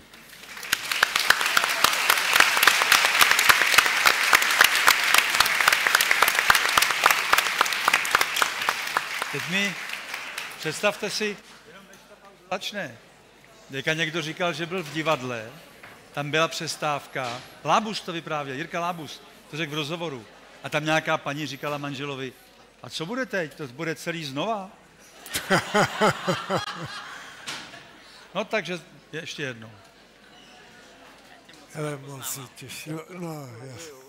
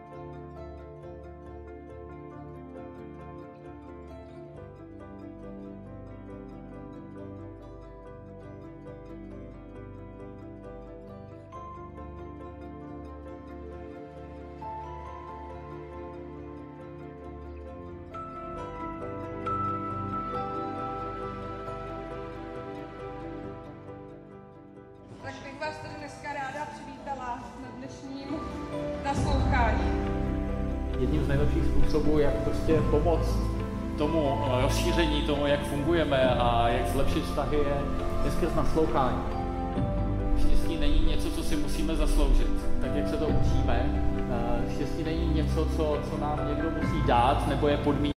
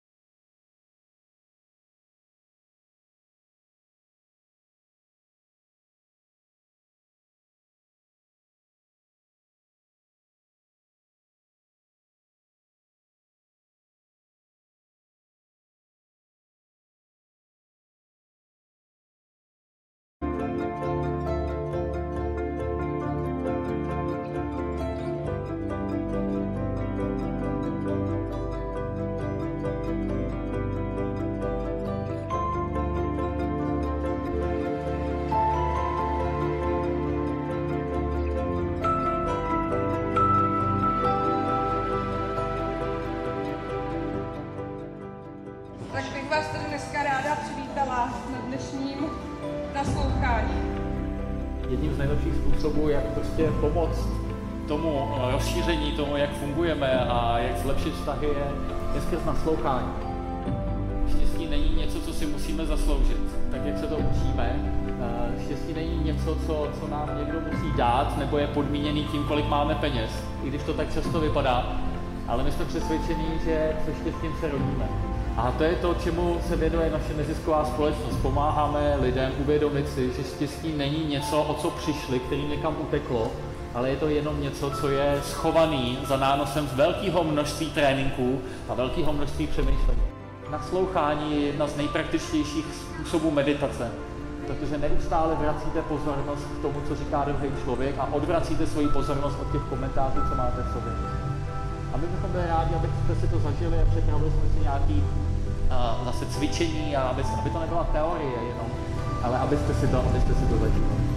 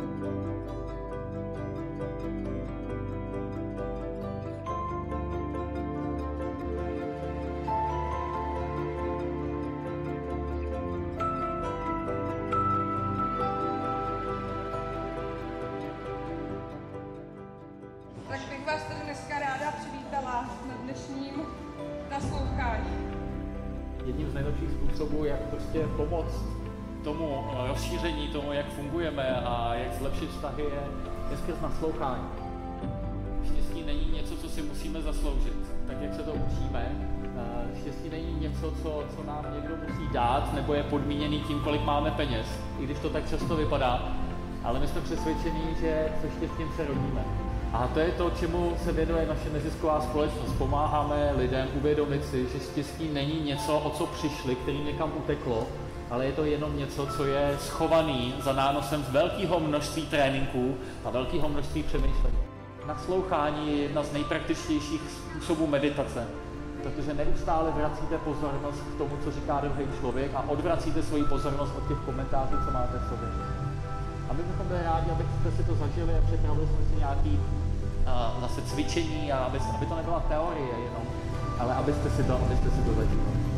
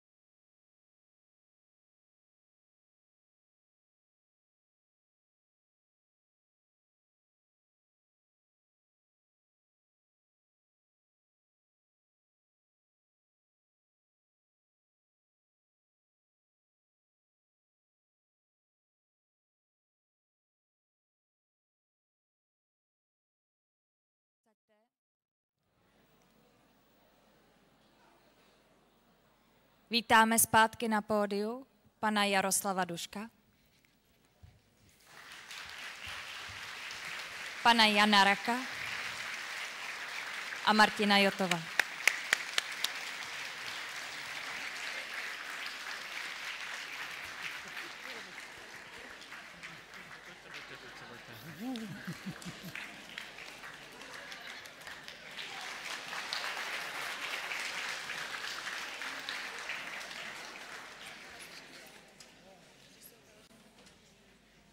Jakože, jo.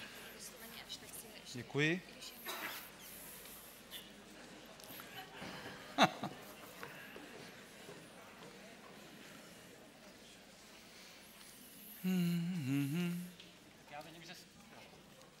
Já to mám asi zapnutý.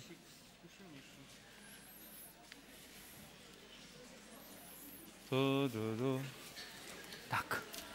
To, Já vidím, že jste byli aktivní o, o, o přestávce, dostali jsme spoustu dotazů a, a za, to, za to děkujeme. Uvidíme, kolik toho, toho stihneme. Eh, Já možná ještě jsme po přestávce, tak eh, eh, jsme v krásných prostorách tady Jabloneckého divadla. A, a já jsem za to strašně rád a, a, a chci poděkovat celému Říkej divadlu. strašně rád, Tak velmi rád. cvičíme to No, šťastné dobře. Česko. Strašně. No jasně. Tady zleva mám opravovátora na fyziku, teďka budu mít ještě jazyk, ale máš... To máš, strašně máš rád, je takový, znáte to. Já jsem to taky takhle povídal a pak takový jeden chlapík, můžu to říct, pan Standa Loutchan, mi jednou říkal, nepoužívej tenhle ten obrat, to strašně krásný, to. Ono to opravdu tu řeč devalvuje. Hmm. Tak jako v klidu. Jo. I tu A realitu. vždycky ty lidi začnou, ale jo, když všichni chápeme, jak to myslíme. Tak to říkejte, jak to myslíte. A neříkejte to tak, jak jako si myslíte, že to každý chápe. A to je, tak se tvoří domněnky. Tak já- třeba nesmírně rád. Tak já jsem hrozně rád. No, to je... Ano, ano, to je ono. Ale říkej si, co chceš, tu takový jenom... Já vím, já, já to tak většinou dělám. Ale, ale já jsem opravdu rád, že, že jsme tady v Jablonci v divadle a, a moc si poděkovat div- divadlu, protože je naším generálním partnerem a umožnilo nám vlastně to tady celý pořádat a já bych řekl, že tahle diskuze a, a, a šťastné Česko si zaslouží uh, takovéhle, takovéhle krásné prostory. Mě Jarda říkal, že jsem jezdí rád, takže jsem rád, že jste Ano. že jsi přijel sem. My tu hráváme často, teda často pravidelně a v tomto divadle je vždycky pěkná atmosféra.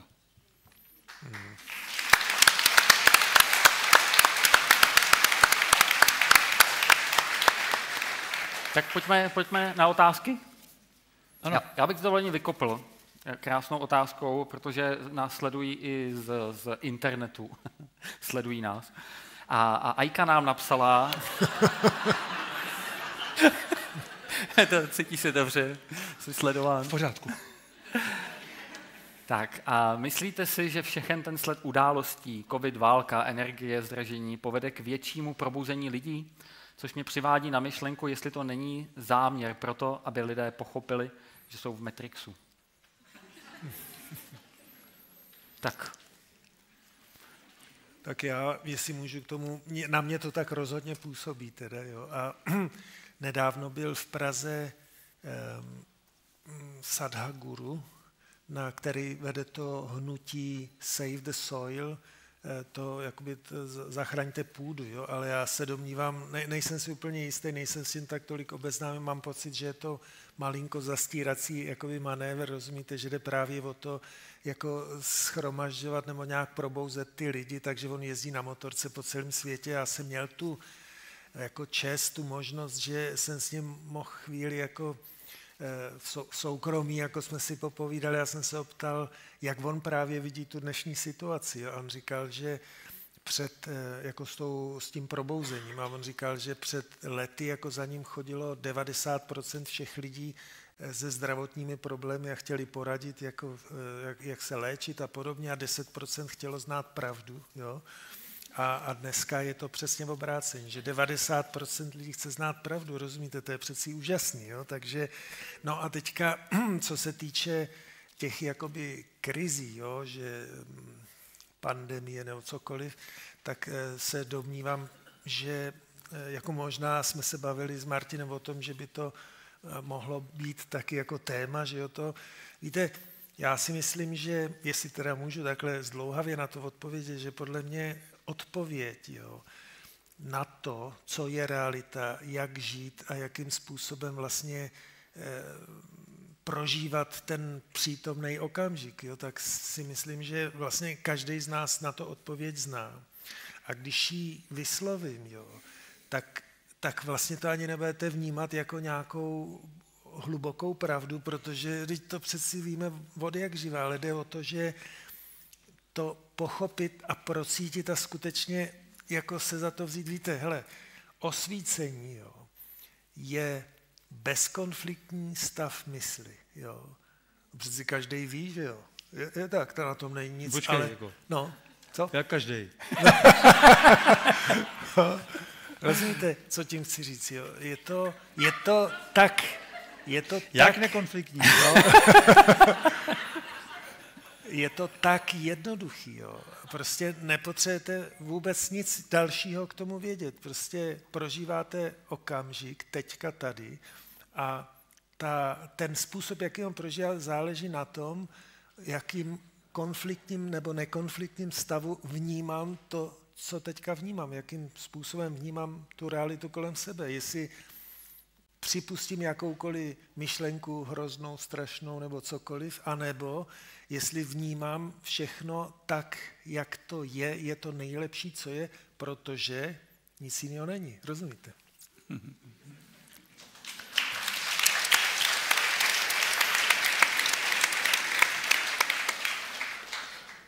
Na tuhle otázku? A co byla ta otázka Ony ty vlastně? odpovědi budou vlastně, na všechny otázky bude ta odpověď vlastně stejná, takové jenom variaci. Eh, Zdá se mi, existuje takový jednoduchý příklad třeba. Používá ho Ramta ve své bílé knize, která teďka znovu vyjde v novém překladu. Vyjde každým týdnem, se už chystá k tomu vydání. A on tam říká, představte si něco hodně pěkného. Nějakou vzpomínku, něco příjemného nebo prostředí, které je vám příjemné. Ponořte se do toho a jste tam během tří vteřin. No a teď si představte něco hnusného, něco, co je vám nepříjemné. Opravdu fakt jako situaci, která je blbá. Jste tam během tří vteřin. Tak. A teď se rozhodněte, co chcete tvořit. Jo, jste tam během tří vteřin. Proto jsem to jenom ukazoval, že jo? Jak bezkonfliktní. Mm. A během tří vteřin bude konflikt. Hned, klidně. A mysl to tam frkne, že jo, otázka bude, intelekt řekne, aha, panáček. Jo. A proto, protože tam ta, ta nepříjemnost toho myšlení je v tom, že je to něco jako chytrý mobil, to znamená, můžete na tom surfovat jakkoliv dlouho chcete. Prostě to, když začnete tam surfovat, tak budete dál surfovat a surfovat a surfovat a dál a dál a dál a dál. A teďka to o tom mluvil nějaký chlápek, jsem viděl dokument, po těch závislostech a on říkal, "No, já jsem se takhle ráno probudil, říkal jsem si, jenom se kouknu na zprávy, no a najednou bylo poledne. A mysl je, ta myšlení je to samé. Když chceme něco přežvikovat, nějaký problém, konflikt, hrozbu, něco nepříjemného, no tak jedeme, to jede, že jo? to krásně dává. Pořád tam něco vidíme, důkazy, důkazy, vidíme důkazy. Že jsou to důkazy, to jsou důkazy. Že jo? To je no a důkaz. důkaz. A No, teď se to vykazí těma důkazama a těma důtkama toho kazu. A to můžeme taky dělat. Ale nemusíme. A ta, ta nejzvláštnější otázka je, proč volíme tvorbu reality, která se nám nelíbí. Proč? Protože třeba, já mám takový, zeptám se na toho Honzy jako odborníka, protože já poslední dobou mám dojem, že tento prostor, tento vesmír, tento kvantový prostor reaguje tak rychle, nejenom na naše jako vyslovené nebo vědomně udělané záměry. On zareaguje už ve chvíli, kdy jenom ještě než vlastně úplně pomyslíme. Ve chvíli, kdy naše vnitřní bytost se někam už nastaví nějakým směrem, tak on tak rychle zareaguje, že my nemáme šanci pochopit, že je to naše tvorba. A my to vidíme jako tu realitu. A je to důkazem toho, že to je ta realita právě proto, že to proběhne rychleji, než my jsme schopni připustit, že jsme to mohli takhle rychle vytvořit, protože naše mysl musí tvořit, než tu větu řeknu, Ježíš Maria, než dořeknu několik slov, to jsou opravdu teda nudný, dlouhý, dlouhý minuty, protože to je vleklé, vleklé eh, lineární myšlení, které se pořád někam vleče a vedle toho existuje ten kvantový přenos, nebo říkají tomu indiáni ze srdce do srdce, jde přímo informace, celá ta, tam projede celá ta škála ve vteřině a zbytek života si to přebíráme v hlavě. Že jo? A vlastně si snažíme se pochopit všechny aspekty toho zážitku, který byl tak mocný, že v tu chvíli námi otřásl a všechno změnil. Ale my to potom analyzujeme, to je jako když chcete analyzovat, jak, jak funguje tělo. No tak, tak můžete to analyzovat deset let. Všechny buňky, jak to spolupracuje, jak tam jedou hormony, jak to funguje s prostředím, co do toho posílá hmyz, co do toho posílají houby, jak to všechno vlastně komunikuje, jak je to všechno propojený a můžete jenom žasnout dál a dál. Já jsem teďka četl rozhovor s Einsteinem. Mm. To se jmenuje Rozhovor s Einsteinem, ta knížka. A tam je skvělá věc. On tam má, jedna z těch jeho odpovědí je, mě natolik fascinuje ta úplná provázanost a propojenost všech těch jevů, že je mi trochu jedno, kde konkrétně je začíná a kde končí. Hmm. To mě tolik jako nezajímá. Hmm. Protože vím, že je to jenom součástí ohromné akce, ohromného tance života a já mám buď to šanci, že ho zúžit pozornost, to znamená udělat to, co se učíme ve škole, Dejme tomu, že se narodíme, tady sedíme, sedí nám tady Betinka, že jo, nebo teďka usíná hezky, úplně otevřené vnímání, že jo. Obrovsky otevřené vnímání a toto vnímání je, to dostáváme do vínku jako bytosti, aby se děti mohly rychle všechno učit. To znamená, děti se to nasávají z prostoru, klidně si zároveň hrajou, teď tam někdo něco povídá, tam proletí letadlo. Oni to všechno v pohodě vnímají, nevadí jim dokonce ani ti dospělí lidé. Ty děti to zkousnou, že jo. Protože ty dospělí tam furt ty blbosti svoje, že jo, pořád tohle starosti v práci, přišel jsem, tam ten kreten zase, to bylo hrozný. A přesto to dítě v pohodě si hraje zároveň, že jo, nenechá si to úplně zakyselit. A pak přijde okamžik výchovy, výuky a my otočíme pozornost ven, vytáhneme z bytosti ven a pořád učíme, co je venku. Hmm. To je pták, to je strom, to je nebe, hmm. to je teta, to je máma, to je táta. A málo kdy ti rodiče vedou pozornost zároveň toho dítěte dovnitř. Jak to cítíš? Co v tu chvíli cítíš? Toto tě obohacuje nebo ne? Jaký máš z tohohle toho pocit? Jako, co ti to dává? Ve škole nudíš se? Cítíš se občerstvený po hodině matematiky nebo biologie? Jo? Ne, ne, ale já to myslím vážně. Jsou lidi, kteří milují matematiku a opravdu je to občerství, protože to je ohromně zajímavý, všechny ty otázky, které tam jsou. Ale někdo je z toho úplně ubitej, že jo? A toto my neskoumáme, vytáhneme to fokusovaný, tu fokusovanou pozornost, zúžíme ji a pak se nám dokonce stane, že natolik zblbneme, že nejsme schopni třeba, že nám pak třeba vadí, že nám vadí, že někdo dělá něco s cirkulárkou, nebo nám vadí, co se děje na planetě. Nám vadí ty, než, ty ošklivé události, nám vadí, protože tu pozornost vlastně nejsme schopni rozprostřít na celou tu šíři. A v momentě, kdy se vrátíme k té dětské schopnosti, to celé otevřít, tak vidíme, že jsou to vlnky určité, dílčí vlnky, byť jsou to třeba silné vlny, byť je to jak subjektivně prožívaná ta událost velice silně, ale někde někým jiným vůbec ne, jo, protože ten zase prožívá něco úplně jiného. A pochopíme, že jsou to určité vlnky, vlny a že se pouze někdo snaží nadspat je do pole naší pozornosti. Jo? To je problém. To je problém. A existuje poučka, která říká, problém se vynoří vždy proto, abychom ho opustili. Ne, abychom ho řešili. On nám ukazuje určitý mechanizmy naší mysli a říká, a toto vidíš, teď si se málem nachytal. Odlož to. Odlož to. Zkus to odložit. A co se stane? Dívej se, co se děje s tvojí bytostí, znešenou. S tvojí nekonečnou bytostí. Co se stane v tu chvíli? Jo? A, a nebo můžeme do toho propadnout a může, může nás bolet zub a můžeme být opravdu nepříjemný na kohokoliv. Jo? Protože, pardon, mě bolí zub, sorry. Jo, dneska. A najednou ten člověk prostě cítí oprávnění zkazit všem náladu, protože ho bolí zub. A klidně se to stane v rodině třeba, že jo, nebo tak. Takže je dobrý si vždycky uvědomit tyhle ty hry pozornosti, která je schopná nás nafokusovat na jeden jediný zub, jako na problém, A v tu chvíli nic jiného nejsme schopni vůbec řešit. No. To, jak jsi říkal, ten problém, jo, že jeden náš společný kamarád tady s Mírou, který tady sedí někde, pronesl velice moudrou věc, podle mě, že co se týče problému, neexistuje řešení. Ty jsi to taky zmínil, existuje jenom rozhodnutí, jo, jak naložit s tím problémem, ale řešení neexistuje. No. To se mi líbí, to říká no. nedávno nějaká psycholožka, byl s ní interview a ona řekla, ono je to celkem jedno, čemu věříte. Podstatné je, co s tím děláte. Hmm. A já bych možná k tomu dodal, co jsem si všimnul, tak to úplně nejpodstatnější pro ať už řešení nebo vyřešení problému je, z jakého místa my to řešíme. To není o tom, že řekneme, dobrý, tak jsou tady nějaké události, já to všechno nechám být. Ale my můžeme jít do jakýkoliv situace z pozice toho, já vím, jak je to správné. Panáček se točí doleva, jenom doleva. Žádná jiná varianta neexistuje.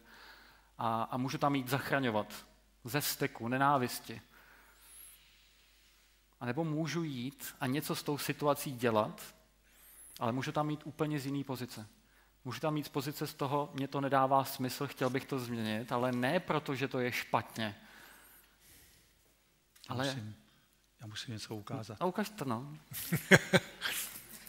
Teďka nám eh, Zdeněk Konopásek ze souboru našel někde nějaký video. Já jsem to tady chtěl pustit a on mě vysvětlil, Martin, že to nejde, že by to YouTube v tu chvíli zablokovalo, kdybychom použili. Se zhroutil celý YouTube. Kdybychom totiž použili nahrávku z YouTube, tak by YouTube to zastavil celý. Jo. A tam je nahrávka, jak se ocitne nějaká, je to prej americká husa. Ono to vypadá jako kachna taková.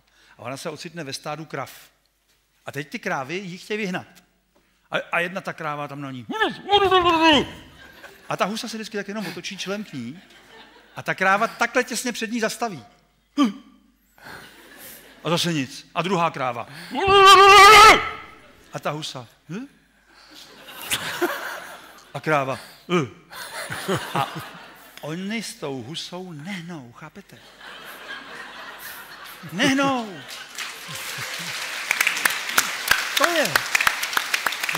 To je, to je jedna z odpovědí na to, co s tím dělat. Zůstat Zůstat ve své vznešenosti, ve své síle. Zůstat ve svém středu, ve svém srdci. Zůstat stát. A ona se před váma, ta kráva, takhle zastaví. Jenomže ona se zastaví fakt až tady. A teď to vydržte.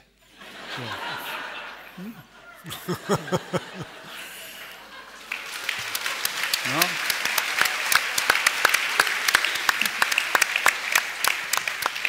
Tak další otázka, ne? Jak vnímat rčení, naděje umírá poslední. Děkuji Petra. No. Já, tady je mnoho škál možností odpovědi, jo? ani to tady nechci všechno rozebírat, že to bychom se tady zadrhli jenom na takových jako legracích. Ale já bych to vnímal srdcem, ne mozkem. To je odpověď celá.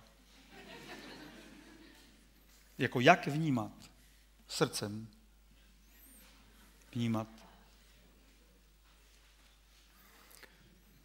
Za mě tou nejlepší navigací v tom, v tom našem životě a souvisí to s tou předchozí otázkou je, my nemusíme o těch věcech tolik přemýšlet a analyzovat a tak dále, ale vždycky se můžeme podívat do toho, v jakém stavu se nacházíme, jak, jak se cítíme.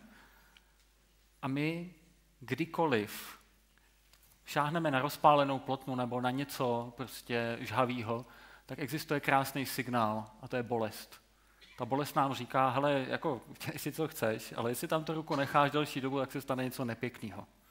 No. Ne? Co? Ne? ne? Dobře, tak, tak to potom do, do, do, doplň, jo?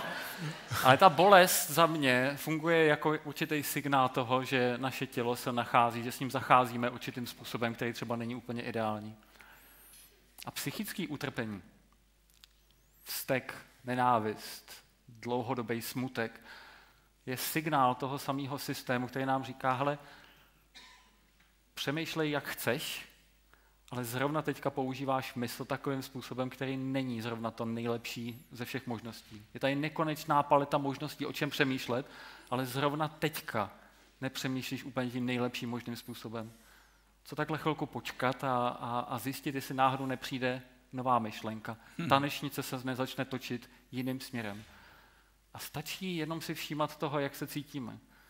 A potom reagovat úplně z jiného místa. Možná si dát těch, ty tři vteřiny, pět vteřin, nebo se na to vyspat.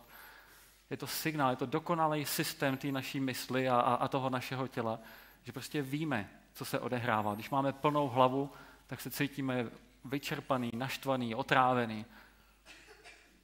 A když ta hlava se čistí a začínáme vidět ty věci v perspektivě, tak najednou to přestává být tak strašně osobní, najednou ty věci chvilku počkají.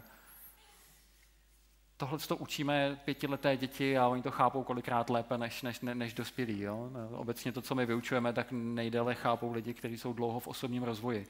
Jo? Čím, čím méně času jste s ním strávili, tak tím, tím, tím, tím lépe. Tak. No, já bych to možná mohl dodat. Já jsem dostal, já nevím, jestli to víte, eh, významnou cenu bludný balvan, jo.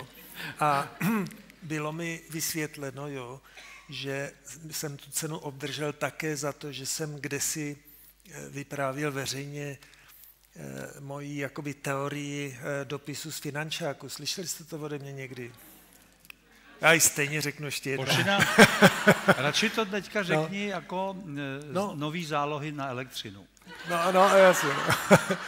A já jsem chtěl tím doplnit to, co říkal Martin, protože to jako ten stav té mysli, víte, ten, ta historka byla asi takhle, jo, že přijde vám dopis z finančního úřadu, kde může být velký přeplatek nebo nedoplatek. A teďka většina lidí eh, jako reaguje tak, že to v nich hrkne, že jo, a ten dopis otevře a zjistí, že je tam průšvih, jo.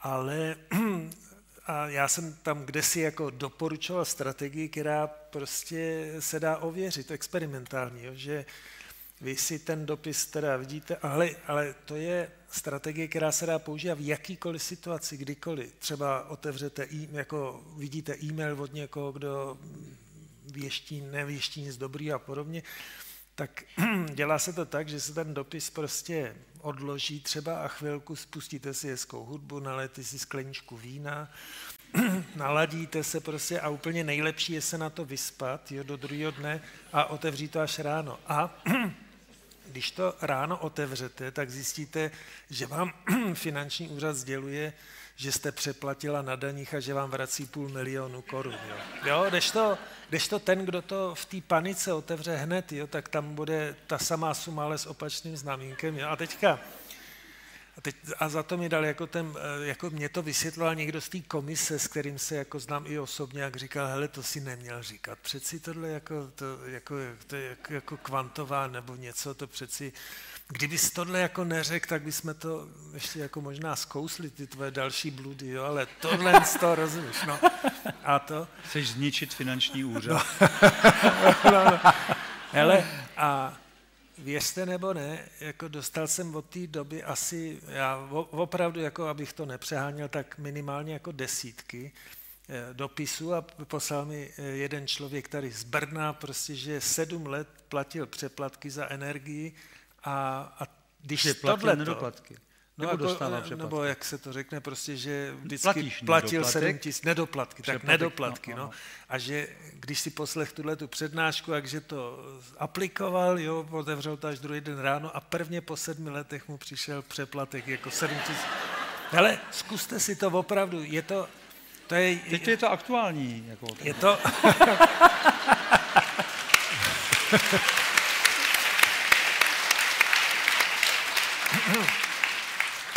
Šťastné Česko, udivený Čes, no. neustále, neustále doplácí svým zákazníkům. No. A, ale je to, je to prostě fenomén, který, se, který lze jakoby testovat za jakýkoliv situaci. A není Takže... lepší rovnou jako požádat elektroměr, aby odečítal v obráceně? No, no, no. Na tom se, na tom se pracuje, tedy jestli chce... Jo, hele, k těm, k těm poznámkám, co tady jako padly, já si myslím, že za mě teda, jako já věřím tomu, že jakákoliv vlastně krize je co si, co je vám podsunuto. Víte, ty děcka právě, jak už tady padlo několikrát, prostě žádnou krizi neprožívají, ať se děje, co se děje, jo. ale jakákoliv krize je vlastně co si podsunuto ve smyslu, aby... no,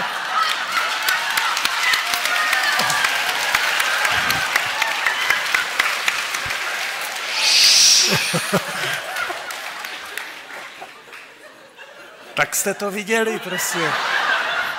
Co víc k vám to můžu říct? No, jasně, hele, takže to, k čemu vy pak zaujímáte postoj, jo, to si myslím, že je zase tak jednoduchá jako věc a obrovsky klíčová. To, že zaujímáte k něčemu postoj, tak to je cosi, co se někomu vyplatí, aby vy jste k něčemu zaujímali postoj, protože prostřednictvím vašeho postoje k čemukoliv jste ovladatelný, jestli mi rozumíte. No. To je celý.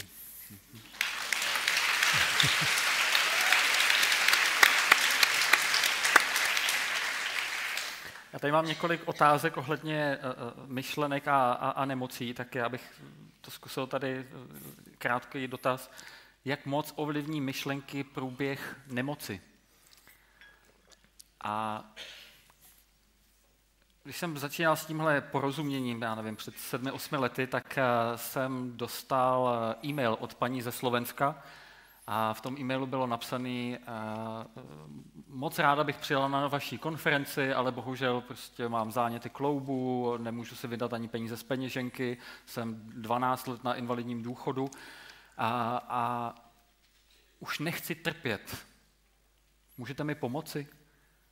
A moje odpověď byla, já, já nejsem žádný léčitel, nic, čemu nerozumím, nic moc nevím, ale moc rád si s váma popovídám. A povídali jsme si dvakrát po Skypeu.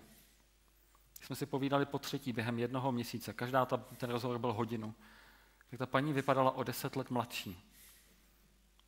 Říkala, že najednou z ničeho nic si uvědomila, že každý den ráno dělala strategie, meditace, eh, afirmace, vizualizace a tak dále, protože si myslela fundamentálně v základu, že je s ní něco v nepořádku. A najednou z ničeho nic si všimla, že nic z toho dělat nemusí. O rok později za námi přijela na konferenci a po vlastních nohách vylezla na pódium, když předtím říkala, že by ji někdo musel přivést na vozíku. Povídali jsme si dvakrát. Říkala, že bere každý den 15 prášků na bolest. Když jsem se jí ptal po těch dvou měsících, říká ani jeden, ale doktorům to neříkám, že by mi to nevěřili. Je, je, je to reálná bytost, jo? Ne, ne hypotetická. Napsala mezi tím, uh, pak jsme spolu chvilku si povídali, on říkal, já mým velkým snem je začít cestovat a poslala nám, nám, nám pohled z Bali. Jo? Uh, vydává knížky a byly to dva rozhovory. Jenom jsme si povídali o tom, jak myšlenka vytváří naši realitu, jak když přemýšlím od rána do večera negativně, tak se naše, začne se nám měnit mozek, naše tělo, produkujeme uh, kortizol, obrovské množství adrenalina, začínají se přepisovat geny, respektive se začínají vypínat některý zdraví, začínají se zapínat negativní, nebo takový ty anorexie, různé nemoci. A ona to dělala 12 let v kuse. Každý večer usínala s tím, jak je to hrozný ten její život. Její manžel má Parkinsona. A teďka najednou z ničeho nic chodila spát. A to nebyla žádná strategie. A najednou chodila spát s vděčností ne, nevy, nevyléčila se úplně, jo, prostě, ale začala chodit, začala se pohybovat, začala žít život naplno dneska pomáhá lidem se zdravým stravováním a s porozuměním mysli. Takovouhle sílu má myšlenka a mnohem, mnohem víc.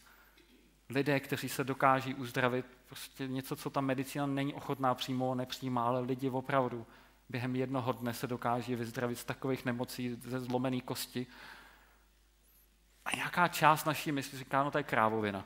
To prostě není možný a prostě úplně to ignorujeme. Já jsem teďka vyprávěl Jardovi a, Honzovi, že jsem když stal, deset let jsem chodil po doktore, že mě bolí záda. Fyzioterapeuti, eh, masáže, prostě všechno možné bolí mě záda a ukázali mi na rengenu asi šestkrát proč. Každý teda řekl něco jiného, mm-hmm. ale že mám vyosení, že mám jednu nohu kratší než druhou, o 1,5 uh, centimetru a někdo jiný řekl, no to je v pohodě, to vůbec nevadí, jiný řekne, no to, to musíte... No, že to je druhá je delší to, to, zase, jo. A prostě všichni měli vlastně důvody, proč mě to bolelo. A já jsem tomu uvěřil do té míry, že to fakt pořád muselo bolet. A v nějaký hmm. okamžik jsem si přečetl knížku, kde paní povídala o tom, že měla dva zlomený obratle a, a, a ještě, ještě vyosení té pádeře a tohleto. A že se uzdravila. Jenom tím, že si uvědomila, že to, že to má takhle ještě neznamená, že musí být ochrnutá. Já jsem si přečetl knížku, mě něco docvaklo, když voda, tak já možná taky. A záda mě přestaly bolet po deseti letech. A opravdu to bylo tak, že jsem se budil v noci a, a, a třeba jsem hodinu, dvě nemohl vůbec spát. A já to, když to někomu vyprávím, tak lidi říkají, jo, a to, takže nějak cvičíš, jo, nebo co? Říkám, počkejte, já jsem si říkal, jenom jsem si, při, jsi... jenom jsem si přečetl knížku a najednou mě přestali bolet záda po deseti letech a ty lidi, jo, jo, jo, no a v televizi dávají. Mm. Jak by nějaká část mysli prostě úplně tyhle ty věci vypouštěla. No to umí vypínat úplně. To se umí vypnout. Já jsem to vyprávěl, ta Bára Fejfarová, že jo, 15 let na vozejku, třikrát denně morfin, 35 diagnóz různých, reálných, lékařských. A ona se uzdravila jednoho dne, večer, určitým odevzdáním a takovou jako určitou odpovědí na nějakou otázku. Byla zdravá. Ráno tam chodila, nikdo z doktorů se nedivil, že chodí. Jako. Oni vůbec jako neřekli, jak je to možné, co za to běžte si lehnout, že jo. To. A ona šla říct té doktorce, já už nebudu brát morfin. Třikrát denně 15 let, jo, to brala. Morfin proti bolestem. A ona řekla, já už to nechci. Odpověď lékařky byla, já už se vám objednala dávky na celý rok. Úplně jako by mluvila s nějakýma robotama. Zmáčkněte A, zmáčkněte B, zmáčkněte C, jo. Máte dojem, že tam je robot, tam není člověk, který by řekl, jejda.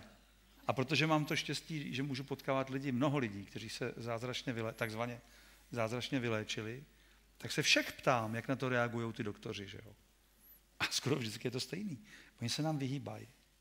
Mm. Málo kdy se stane, že by doktor řekl, co jste teda dělal, člověče? Mm. Já tady vidím ty vaše papíry, to je nějaký divný, jako co jste dělal?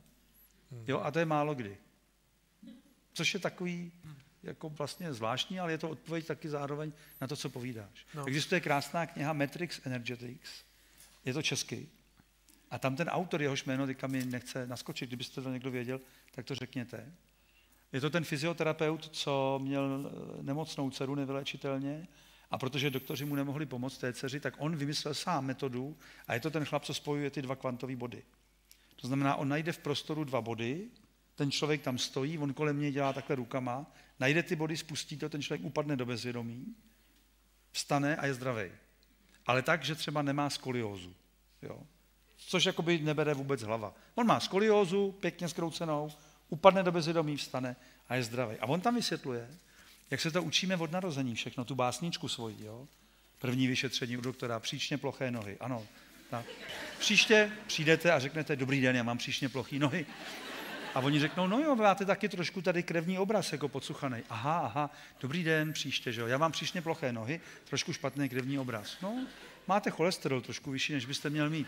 A takhle se učíme tu básničku a my sami už pak jdeme. Dobrý den, já mám příšně plochý nohy, cholesterol mám trochu nahoře, mám rozhozený tenhle ten, mám trošku vyosený tenhle ten obratel, trošku mám kyselost žaludku, občas tam mám ty kyseliny, malinko, malinko jsou oslabený ledviny. Mo, jo? A toto všechno my opakujeme jako blázni a neuvědomujeme si, že to tím jako hlásíme tomu tělu, jako bychom mu říkali, udržuj tento stav, já to chci, protože to opakuju, až to říkám. A to, o tom, to je ta síla té myšlenky určitý, že? o který mluví, o který mluví tenhle ten autor. Samozřejmě, eh, že je tam určitý prvek určitého typu rozhodnutí té bytosti, a zároveň je tam svoboda té bytosti taky odejít. Pakliže e, prostě nehodlá pokračovat. Existují děti, případy dětí, popisuje to, popisuje to Dyer, Wayne Dyer ve své knize ne, Vzpomínky na nebe. A tam říká, že tam se dějou věci, které jsou pro ty rodiče velmi těžké. Že oni říkají, co by si chtěl k Vánocům desetiletýmu synovi? A on říká, e, to už tady nebudu to už nekupujte. A oni říkají, co je, jako si nešťastný, nebo ne, dobrý je to s váma, ale už to končí, já už musím dál, já jdu dál. Desetiletí děti, jo, ohlašují dopředu, odcházím, nebudu tady. Jo, a někdy, někdy ty paradoxy jsou v tom, že tím, že ty rodiče ho nedovedou pustit, mm. tak on musí odejít úplně jinou. Jo, je, to, je to velmi složitý, tenhle ten proces pochopit v celé provázanosti toho sociomu, mm. toho, toho té rodiny a toho všeho, proč se tam odehrávají ty, které události způsobem, který probíhá právě tak, jak probíhá. Mm. A přijímat to jako bez emoce, bez toho, eh, bez toho že to vyhodnocuju přes emoci, jo, jako mm. správně, nesprávně, doprava, doleva. Nic, to je fakt, je to tak. Kamarád, který se uzdravil z ochrnutí, se uzdravil takže on spad z postele a nemohl se hejbat. On se nemohl hnout. A on si řekl, klid, dobrý, o nic nejde. To přejde. No a pár dní takhle ležel a pak zase vstal a, a funguje normálně. No. A tohle zažil ten člověk. A mohla nastat panika a mohla nastat jako snaha o pomoc. A někdy to může se tak zamotat tou pomocí, že prostě ho operujou dřív, než on se sám stihne uzdravit. Jsou to, jsou to někdy jakoby milimetry křehky. Jo? A hledět do těch osudů, kdo, co, proč a jak, mm-hmm, to je velmi křehká záležitost. A poslední věta jenom. No, jasně. William bude mít teďka film o smrti, bude 6. listopadu bude v Ostravě mít premiéru Smrt jako brána. A tam on má natočenou paní, která umírá na rakovinu. Hmm a mluví na tom smrtelném lůžku na kameru, vypráví o svých pocitech a říká, jako jak to je. A je to nesmírně zajímavé, jak ona mluví. Vy cítíte, že to tělo už moc nemůže. To tělo, a ona to sama říká, to tělo slábne, ale duch, duch sílí. A ona říká, každý večer jsou tady se mnou ty duše. Přicházejí za mnou do pokoje, ty, co mi budou pomáhat na té cestě. A já některý z nich znám, já už je poznávám. Některý neznám. Pak tam říká, už mě vzali třikrát tam a zpátky. Já už se vůbec nebojím, já, já to vím. Jo? A poslední její věty jsou, žijte naplno. Žijte naplno.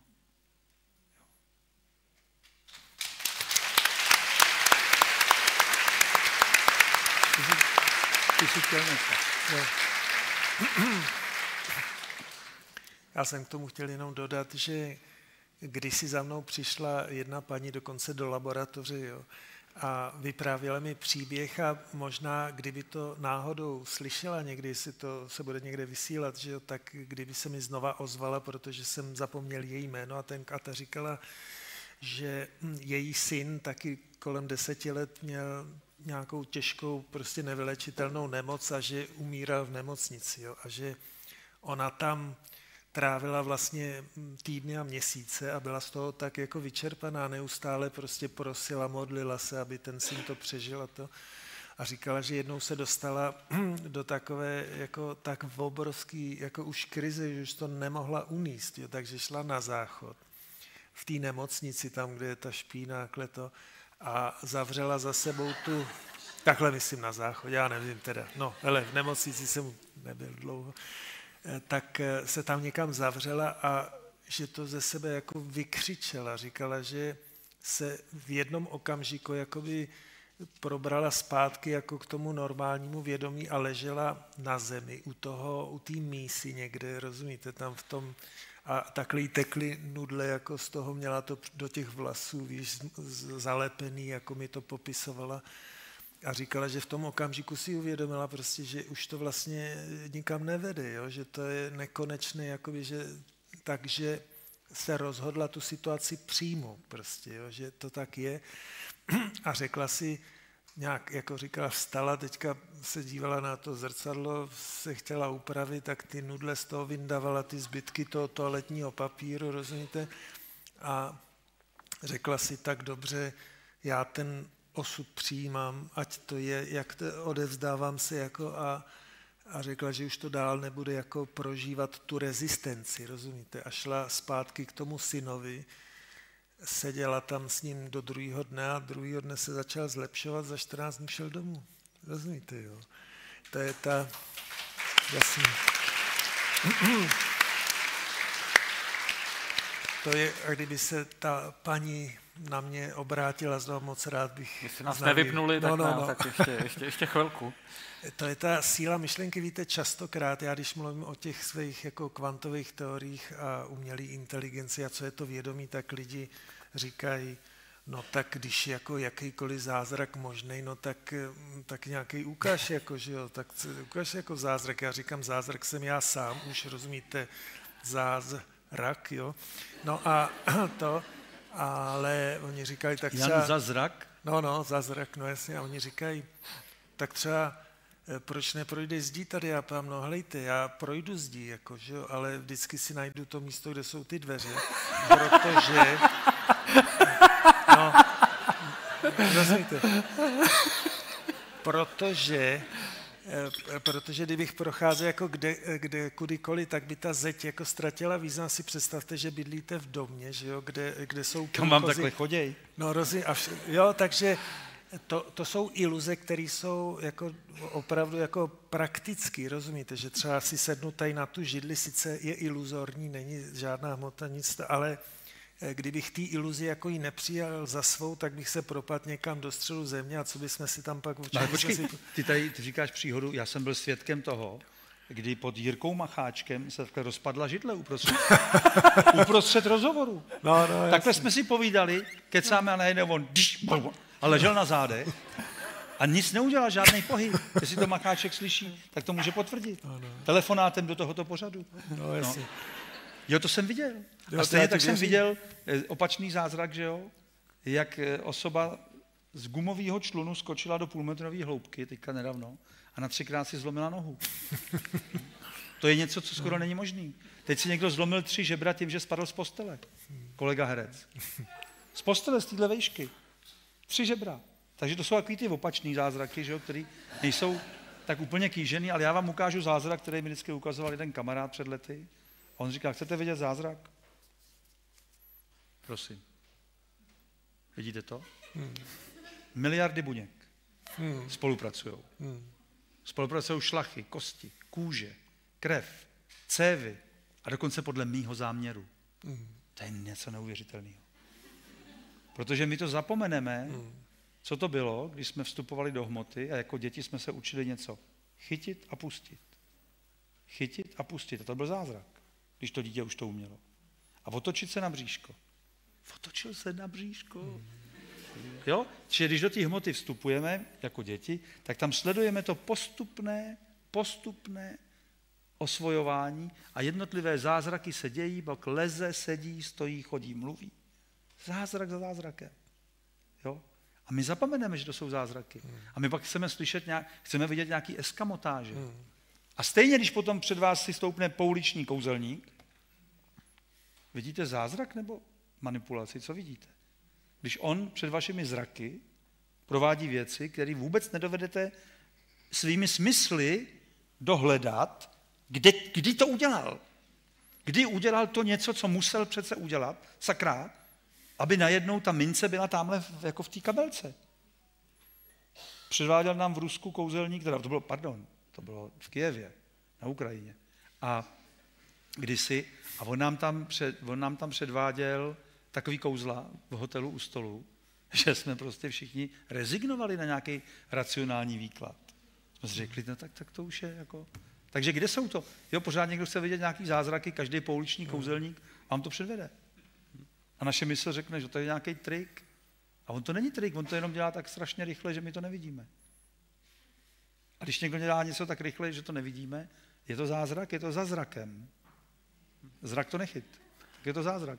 Můžu poprosit, jestli bychom mohli pustit ještě tu moji prezentaci. Já bych vám ukázal jeden zázrak.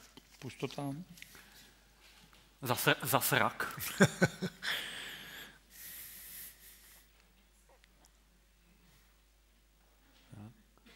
No, tak, si to, taky si to A představte pustíte. si, že ta paní Tak. Asi jste viděli motýla a možná jste si řekli, no hezký no. My, naše firma, nebo jedna z těch aktivit, co děláme, jak se věnujeme nanotechnologiím. A inspiraci mimo jiné čerpáme z přírody, nebo minimálně se necháme fascinovat přírodou. A když kouknete na motýla, tak má nádherné barvy. To je zázrak. A když na ně kouknete pod mikroskopem, ideálně hodně silným mikroskopem, tak zjistíte, že tam žádná barva není, že tam není dokonce ani žádný pigment. Ani motýl. To, to, to, to, to, to je taky pravda. Ale ten motýl má křídla, které mají takovou strukturu, nanostrukturu, že to světlo, když tím prochází, tak difraguje, odráží se, eh, interferuje a vytváří dojem nekonečně nádherný, prostě překrásný barvy. Napodobit barvu křídla je strašně těžký. Naše firma se mimo jiné zabývá právě tím, že se snažíme trošičku přiblížit těmhle s těm věcem, takže ty nanostruktury potom řízeně děláme, využíváme k tomu třeba ten elektronový mikroskop nebo 3D, 3D tiskárnu. A tohle je pro mě zázrak mých, mých, mých kolegů. A to je fotka toho křídla Aha. vpravo, jo? To Ano, elektro, elektronový Zvětšený. Nevím, co křídlo. jsem udělal, ale udělal jsem to špatně, evidentně. Tak. Tohle je uh, meka s dokonalou přesností, s okýnkama a celá měří půl milimetru. Naši kolegové se strojili uh, 3D nanotiskárnu v Brně, dostali za tohle teďka ocenění nejmenší meka na celém světě. A vyrábíme pomocí, na, představte si běžnou, uh, nanotiska, běžnou tiskárnu, akorát, že něco... meku. Om, omylem, omylem. Je. Ukáž, ukáž. A jak se jmenoval ten, jak svítil v tom, uh, uh, Jáchyme hodil do stroje, jak vždycky tím lupem, tou lupou koukal na to, na, jak, jak kreslili. Jo, jo, jo. Tak něco podobného dělají kluci u nás, u nás v Brně. Jo? A tohle je pro mě zázrak. Jo? Prostě postavili nanotiskárnu, která je schopná vyrábět materiál, zatím jenom v laboratoři, který je stejně pevný jako železo, ale tisíckrát lehčí. Letadlo Boeing vyrobený z toho materiálu by vážilo 25 kg.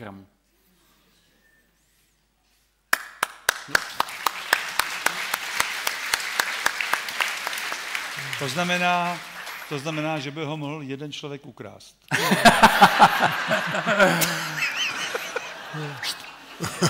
Kam běží s tím Boeingem? Co chce udělat ten s tím Boeingem? A i, to, a i tohle je, je, je jako, Tam doufám, že nám to nikdo neto... Představ si ta naštvaná bába. Ten váš blbej Boeing tady. A hlavně ten Boeing unese každý slušný orel, dejte si na to bacha. Oni, když si do toho sednou ty lidi, tak to stěžkne. No tak normálně, normálně ten Boeing spotřebuje většinou paliva na to, aby zvednul sám sebe do vzduchu a to palivo, které nese. Jo? No A teďka naší představou je, že třeba jedna z firm, který by postavili první letadlo, který nebude nic vážit, tak bude mít slušnou výhodu. A my bychom byli hrozně rádi, aby byla z Česka nebo Slovenska. Takže jsme trošku možná sami proti sobě, protože tu technologii jsme nevyvezli, jako už se nám to bohužel stalo, že nám nějaká technologie byla od, od, odnesena. No, to snad Angličany, ne. jo, ne, ne, ne Čechy. To nebyla ukradená, jenom byla od, odnesena. A dneska je z toho firma, která má hodnotu 500 milionů liber. A Česko z toho zase nic nemá. Ale pozor, já mám takový návrh. Jestli umíte takhle, takovýhle materiál udělat, já myslím, že to už by člověk rozmával ty křídla, Mm. kterýma by se mohl znést. To už by, to už by možná šlo. Když by byly tak lehoučký. Ale ono to nebude až tak úplně potřeba, protože už to, už, eh, když nespotřebujeme tolik toho materiálu, bude to lehký, nebudeme potřebovat tam tahat tolik věcí, tak eh, eh, ta revoluce, kterou to může způsobit potom v dopravě. A my bychom byli rádi, aby ty technologie zůstávaly v Česku. Takže bavíme se o, o tom, jak být šťastný sám za sebe, ale šťastný Česko má velmi praktický aspekt. Díváme se na firmy, snažíme se pomáhat firmám k tomu, aby něco tvořili. Hmm. Tohle to zase lidi říkali, že to je nemožný, že se to nedá, že to, že to nejde. A taky se říká, že u nás neumějí spolupracovat firmy s akademickou obcí. U nás jsou lidi, kteří prostě tuhle myšlenku jí nevěří a umějí spolupracovat. A výsledkem jsou takovéhle věci. To vymysleli Češi, udělali to Češi. Ta tiskárna už teďka je nejrychlejší na celém světě a teďka připravujeme generace, která to zrychlí tisíckrát. Protože v té laboratoři zatím vyrobíte malinký kousíček a abyste se dostali na to, že z toho vyrobíte, eh, já nevím, předlohu pro růst kmenových buněk nebo to letadlo, tak to potřebujete zrychlit neuvěřitelným způsobem. Ale tohle je ten potenciál těch lidí. Když přestanou plejtovat tou energii na to, aby přemýšleli o tom, jak to nejde, na to, aby se hádali mezi sebou a říkali, hmm. no my počkáme, až ta akademická obec pochopí, jak ten biznis funguje. A akademie říká, no až ty firmy konečně pochopí. A furt někdo čeká. Hmm. A jedním z těch našich, toho našeho poslání, ty neziskovky, je prostě přijít za těma lidma a zeptat se, co byste dělali, kdyby tohle neplatilo. Hmm. Takže tohle je i ta naše pozvánka pro vás, pro všechny. A pokud s náma budete chtít zůstat v kontaktu, povídat si s, vám, s námi, tak třeba máte nějaký nápady. A třeba vám připadá, že jsou to krávoviny, že, nebo že to nejde, nebo že musíte počkat, nebo že vy jste špatný. A, a my vás budeme poslouchat, budeme si s vámi povídat, možná přivedeme Honzu a, a, a on vám ukáže, že a, ty věci, které on dělá ve, ve, ve, svých firmách a, a tohle, tak jim taky nikdo nevěří. Ale oni fungují. Hmm. Ale nikdo tomu nevěří. Prostě já, když to vidím, co to dělá, říkám, to přece řeší úplně všechno. Ale nikdo tomu nevěří. Nebo nikdo. Skoro nikdo tomu nevěří. A já trošku doufám, že i po dnešním večeru a dalším povídání, tak tady bude víc lidí, kteří otevřou ty oči a třeba tomu začnou, začnou věřit, nebo minimálně se začnou o tom bavit.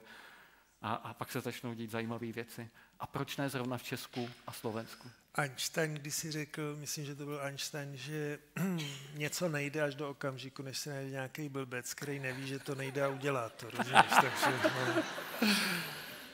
Tak Honzo, já tady vidím, že tady máš docela zajímavou otázku, jestli bys se jo, mám, chopil. Jo. Jaký je pohled kvantového fyzika, asi mě, že jo, na víru v Boha? Elite, já se domnívám, že... tak já vám na to odpovím. no, já vám řeknu svůj názor. No, jako na, na tuhle speciální otázku mám skutečně názor ve smyslu toho, že já se domnívám, že eh, na nějakým jakoby eh, spirituální evoluci každého člověka se prochází jistými fázemi a jedna rozhodně z těch fází, kterou já kolem sebe pozoruju, zažívá mnoho lidí, je, že v jistém okamžiku si uvědomí to, co už tady několikrát padlo, že jako všechno je jinak a že všechno i může být úplně jinak. Jo? A že my jsme nějakým způsobem jako kovaný tou výchovou v tom, aby jsme věděli, že prostě rychlost světla, je nepřekročitelná, tohle nejde, energie a podobně a tak dál. Takže my jsme vlastně jakoby otesaný do takového jakoby black boxu a málo kdo se odváží prostě z toho black boxu jako vystrčit nos.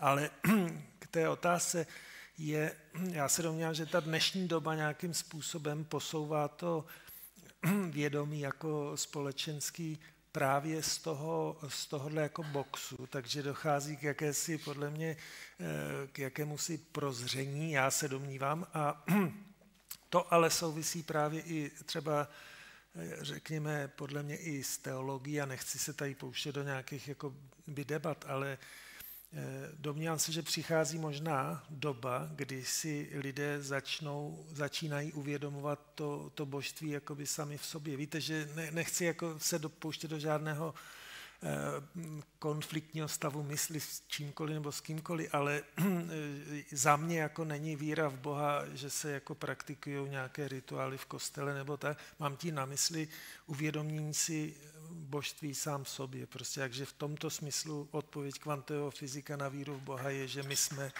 máme božství v sobě. Děkuji.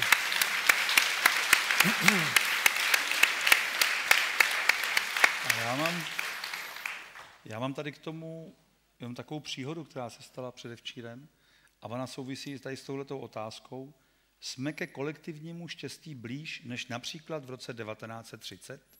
Je víc vědomých lidí, kteří i díky vám mohou kolektivní štěstí nasměrovat od utrpení směrem ke štěstí. Tatiana z YouTube vysílání píše. A já jsem teďka byl v Lhačovicích. Šel jsem na procházku tam, jak jsou ty prameny, ta Alojská, kde se takhle dolů jako k té kolonádě, nějakou tou kaštanovou alej. A my jsme tam šli asi už po třetí. Po třetí, po čtvrtý jsem tam tudy šel, nebo se takhle kouknu. A říkám, to není možný. Co to je? A tam byl, tam byl nějaký takový jako kámen s nějakým nápisem, z toho ty, trčela tyč a nahoře byl Ježíš. Ale on mu nějak jako upad ten kříž. Tam nebyl ten kříž. Rozumíte? A to bylo najednou úplně jiný kafe. Takže to bylo jako... A já jsem si to, já jsem si to šel prohlídnout ještě jako ze zadu. A tam opravdu je nějaký náběh na to, že tam asi ta konstrukce byla. A teď já nevím, jestli to někdo jako sundal, počítám, že Bůh by to mohl udělat. Ať to byl, kdo to byl, musel to být Bůh, že jo? A už to sundal. A to je starý sedmý kamarádky, jak je takhle v kostele a teď kouká a všichni se tam jako modlejí a mydlejí takhle a tam je prázdný kříž. Prázdný kříž. A všichni to. A ona se takhle otočí a takhle ve dveřích tam stojí Ježíš. A ona tak na něj, a on jenom, hm. no, tak, tak se mi zdá, takže v Luhačovicích jsem nabil dojmu, že jsme ke kolektivnímu štěstí blíž. Než v roce, deva, já nevím proč 1930, oni zase, víte, ty 20. let, no nic, když to potom čtete, některé ty články o divadle a tak z téhle doby, to bylo vysoce spirituální. No a byla úžasná doba. Nádherná jasný. doba, že jo. No, no. Takže blíž dál, jako jak to budeme poměřovat. Ale kdybychom vzali kvantifikaci toho Hawkinse, že jo, z té Hmm. jeho knihy Vzestup po úrovních vědomí, tak on to tvrdí, že vlastně pořád jakoby ten průměr toho Hmm. kolektivního vědomí stoupá a že teprve někdy po tom roce 2000 poprvé vystoupal nad těch 200, podle té jeho kvantifikace, což znamená nad to ego. Hmm. A protože do té doby to bylo pod egem, že jo, tak vlastně to ego pořád vládlo. Hmm. Pořád to byly ty souboje, závodění, poměřování. A on říká, že tam už se povedlo se dostat nad to. Hmm. A tak je tu jistá naděje, kterou zároveň tady dneska se snažíme jako vysvětlit nebo předat, Hmm. nebo s váma si ji tady společně prožít. Sdílet. Ta možnost, na kterou jednou odpověděla taková docela moudrá ženská, a ona říkala, lidi říkají, že k realizaci věcí je potřeba čas, ale není to pravda. Je k tomu potřeba naladění.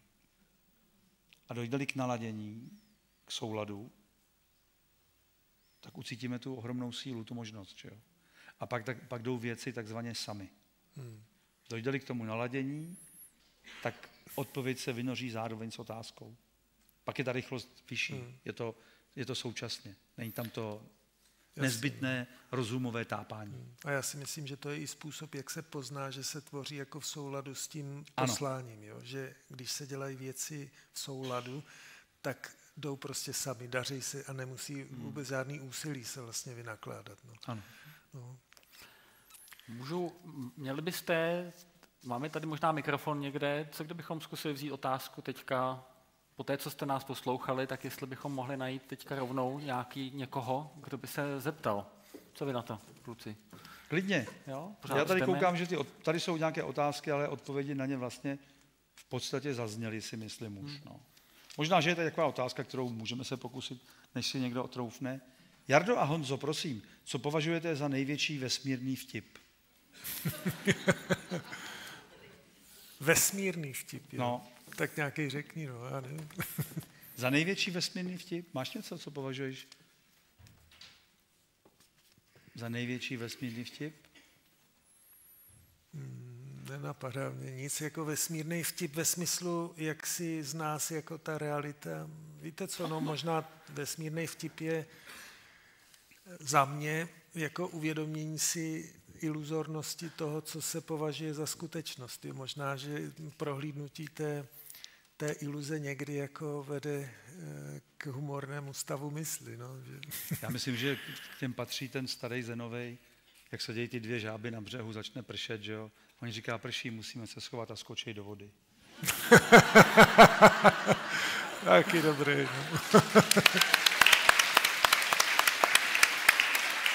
Ale, ale mě, tam napa- mě tam možná napadá, eh, nevím, jestli to je vtip, ale, ale taky je to nějaká siuxská legenda, ale určitě to bylo převyprávěné mnoha různýma způsobama, kdy, kdy ten duch a, a chtěl si pozvat ty zvířata a, a, a požádal je o radu o tom, kam má schovat to, to největší tajemství, které je. A, a Orel říká, tak dej ho mně, já ho vynesu na to největší vrchol všech hor a tam ho schovám, tam ho lidi nikdy nenajdou. A Bůh říká, ne, oni jednoho dne postaví stroje a, a doletí i na ta nejvyšší místa. A přijde rybář, říká, dej ho mně, já ho odnesu na to nejhlubší místo oceánu a tam to nikdy nikdo nenajde. A Bůh opět, opět říká, nebo ten duch říká, zase lidé postaví stroje, které odvedou, dovedou až na nejhlubší místo oceánu. A pak přijde osel a říká, tyjo, hele, co to schovat dovnitř do nich, tam koukat nebudou nikdy. A my furt chodíme tímhle životem a hledáme to štěstí a ty odpovědi hledáme někde venku. V té další výplatě, v tý, tom povýšení, v tom, v tom dalším vztahu, u někoho jiného. A to poslední místo, kam se koukáme, je dovnitř. Dokonce i toho Boha furt hledáme někde jinde. A teďka Honza tady krásně říkal, možná je ten čas, kdy lidi začnou nacházet to božství sami sobě. Na těch malinkých dětech je to tak nádherně vidět. Hmm. Ještě bych si dovolil říct všude. Hmm. Jasně. Všude. Všechno je Bůh. Jasně. Je to, jak, jak to říká ten Ramta, uvědomte si tu sílu, která vás drží pohromadě. Tu neviditelnou sílu, která drží tento vesmír pohromadě. Hmm. Co je to za sílu, která to dokáže? Hmm. Jasně, no. Napadlo vás někoho? Ať buď pozdílíte, co, co, co to s vámi dělá, nebo co, co vidíte dneska, nebo jakou máte ještě, ještě otázku. Budeme moc rádi, když to zazní, zazní od vás. Když tak zvedněte ruku, to... my vám donesem mikrofon. Nebo hodíme, když to bude nahoře. A v mezičase možná můžu teda jednu otázečku ještě? ještě? No. Hlásí no, se někdo? Mi tam, tam jo, se tak hlásí, tak ano? můžeme... Jo, tady už, je, tady už je ruka. Tak budeme... Ano, je tam ruka. Ještě není v rukávě, malý moment. Ano, a Betina maminka ponese mikrofon i s Betinkou. Děkuji. Já nemám otázku, já jenom v podstatě řeknu tu myšlenku, která mě teďka hodně provází. Eh, nemysleme v té budoucnosti, říkejme, ono už to je, ono už se to děje. Jo, ne, Určitě. že to budeme tvořit, ale už to tvoříme, už to je. Ano. Tak díky moc.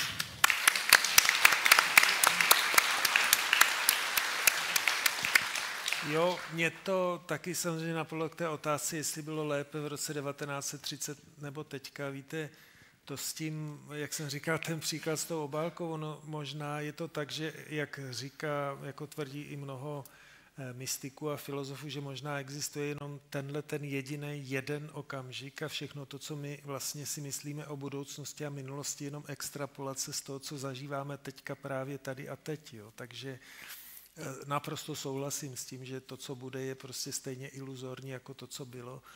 To tady, no dobře, hli, já jsem možná ještě mohl zodpovědět velice krátce na otázku, je možné přeměnit myšlenku ve hmotu a pod tím je dokonce rovnice E rovná se MC na druhou, tu teda všichni znají, že jo?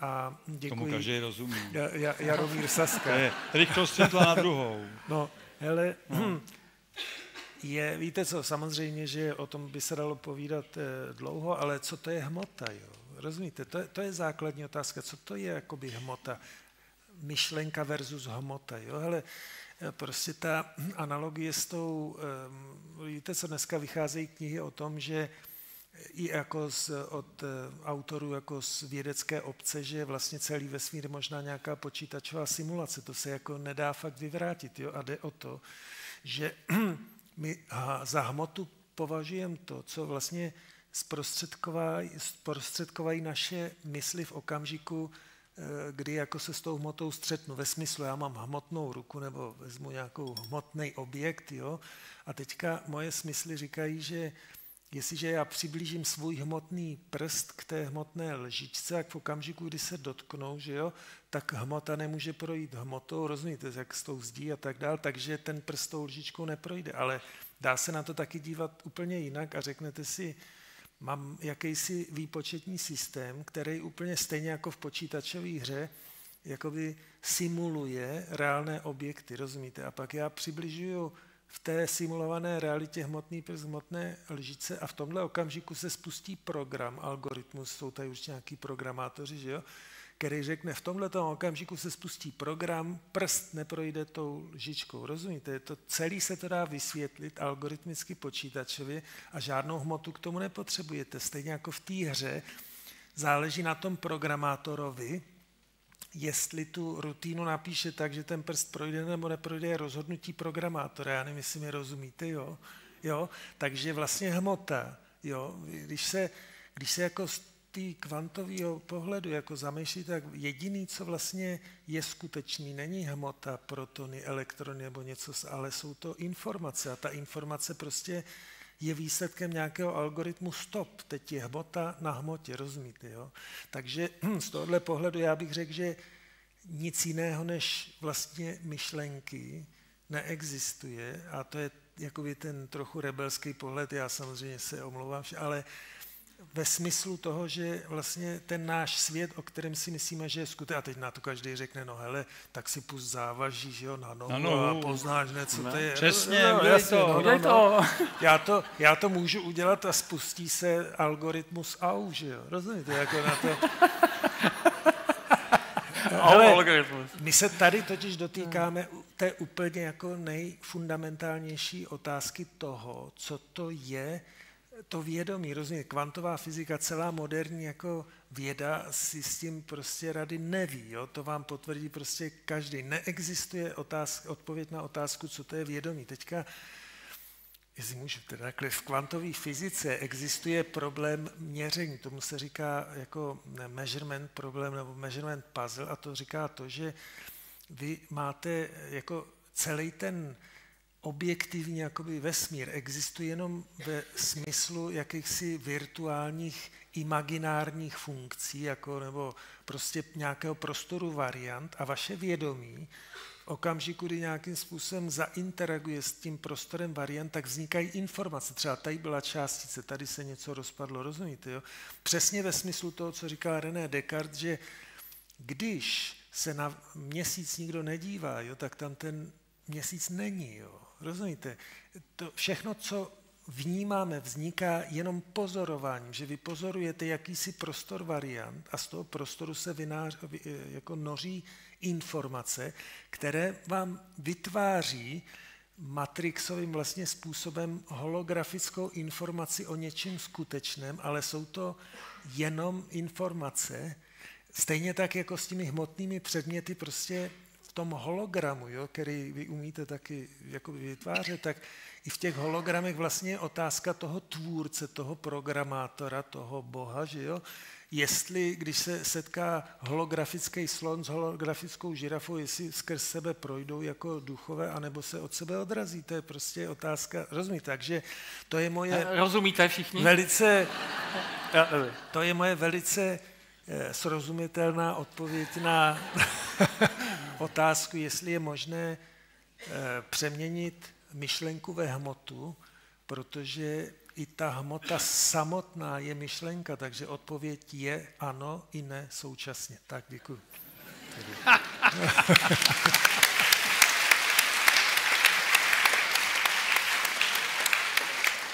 Má někdo mikrofon? Ano? Tak. Tam?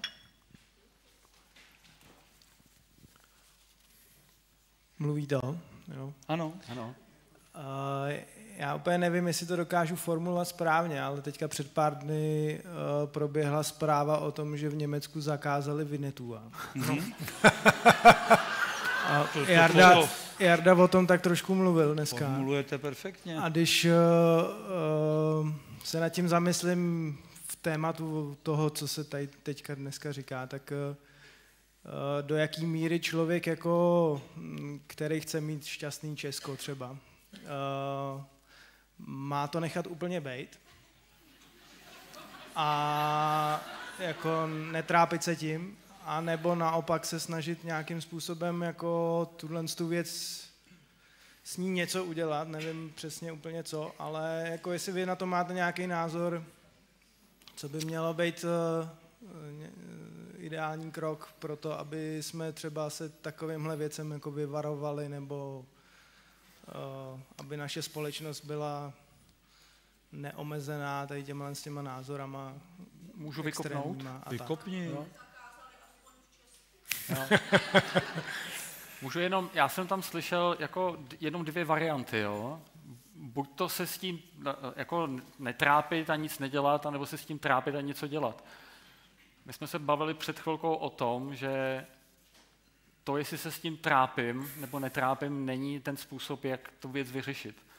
Takže to první za mě, cokoliv, kdykoliv já, já vidím a, a, a bavíme se s klienty a tak dále, je, první se postarejte o sebe. Pokud vy se dostanete mentálně do, do vzteku, nenávisti a tak dále, tak všechno, co budete dělat, bude vyvolávat velmi negativní reakci. Navíc nám jako IQ úplně jako ne, ne, nesvědčí, když se trápíme a hádáme. Jestli jste viděli někdy hádku dvou manželů, tak na začátku to vždycky je celkem racionální diskuze, jak se baví dál a dál, tak ke konci to je, zkazila jsi mi celý život a ty jsi úplně stejná jako matka. A když má poslední slovo muž, tak je to jenom začátek nové hádky. Ano. Že? Takže te, ten, ten, jenom moje doporučení, kdykoliv cítíte frustraci, otrávenost, naštvanost a tak dále, tak je to signál celého toho systému, ale teďka, jak přemýšlíš, tak nejsi v tom nejlepším rozpoložení. A my si občas se obáváme toho, ale já když se s tím teda nebudu trápit, tak nebudu nic dělat. Hmm. Ale takhle to nefunguje. Ty nejlepší věci v mém životě, a řekl bych i vě- většině ostatní, nevznikly z, z nedostatku. Jo, na světě chybí, je málo dětí, tak pojďme nějaký vyrobit co takhle, že to vznikne z lásky. Že to vznikne z chuti s tím něco udělat. Z lásky k Vinetuovi, že si ho chceme zachovat. My nemusíme být nejdřív naštvaný a otrávený a frustrovaný, abychom si prostě řekli, hele, tohle to si sem prostě posílat nebudeme. A ta síla, zkuste si vzpomenout prostě na tu kach, uh, husu. Ano. Zkuste si na ní vzpomenout, že dokáže zastavit kohokoliv. A někdo možná, já jsem kdysi dělal třeba aikido a, a, a, takovéhle věci, tak prostě vidíte, že to nejhorší, co můžete dělat, to, na co jsou všichni připravení, je ta síla. Na to se oni těšejí. A často tyhle ty věci dělají proto, aby vyvolali tuhle tu reakci, protože na to jsou připravení, že hnedka se začne stávkovat a bojovat a, a na to se těší. Ale pokud dokážeme zůstat v absolutním klidu a říct, my si vinetu a prostě vzít nenecháme, tak je to strašně těžký. Strašně těžký s tím něco, něco udělat. Takže pro mě to není buď a nebo, ale zůstaňme sami sebou. Zkusme dělat to nejlepší z toho zdravého rozumu, z toho, z toho klidu. Ale nenechme si prostě buzerovat a, a, a komandovat a, a nadávat uh, kýmkoliv, ať už jsou to Němce nebo kdokoliv jiný. Dá to smysl?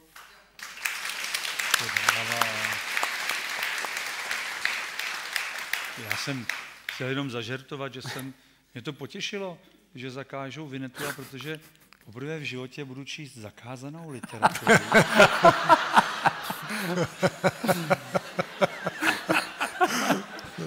Možná se to zase víc rozšíří díky tomu. Třeba jsou to nějací největší jako strategové, jak rozšířit znovu Vinetu a zájem. Představte si, že tohle to vyrábí lidi, kteří třeba mají PR úkol, jak rozšířit zájem o Vinetu a na celé planetě. Aby děcka víc A četli, začne že to jo? takovým jako zákazem, pak se o tom bude hádka, všichni se tím budou zabývat, pak už toho Vinetu a budou chtít všichni si přečíst konečně, protože o čem je teda ta řeč, no a nádherně se to bude prodávat. Já mysl... Takže si člověk může představit vždycky variantu jakoukoliv jo, toho, proč to udělali, co to znamená. Protože takový to na, to na první dobrou, to je jasná blbost, že jo, taková. Ale já si myslím, dneska už víme, že třeba volby vyhraje, já jsem na to koukal jak blázen, ta strategie těch chytráků spočívá v tom, že přes ty sociální sítě třeba znechutějí lidem, ne, že někoho podporujou a někoho nepodporujou. Oni si zjistí, kdo by jako vyhrál. Zjistí, kdo by vyhrál, to tak vypadá podle těch průzkumů, a v jeho táboře vyvolají nechuť k tomu jít někoho volit. A on od ty hlasy prohraje. A takhle se to dneska dělá. Vůbec se to nedělá jako nějakýma přímýma kampaněma, ano, ne, tohle. Úplně se to tak jako otočí někom, tohle. Takže Bůh ví, co se skrývá za takovýhle, za takovouhle věcí, zákaz Vinetu. A mně se teda hodně líbilo, že se na stranu Vinetu a postavil Sioux. Jo? V Americe Sioux, chápete? Ty nejvíc s Apačema bojovali přece. A ten Sioux řekl, jsem na straně Vinetua. To je. Takže to je nádherný výsledek. Máme. Co? Nás tlačí, tlačí nás pan čas. Prý nás tlačí čas. No, což znamená ka- kat, že na mě signalizuje. Nevím co, ale tuším, Já že to bude něco něco o řeknu, času. že to mě nezajímá. Pokračujeme. Protože teď přijdou ty zásadní otázky.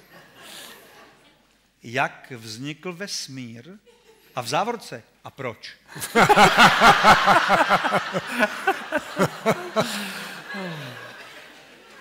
To je otázka na tebe.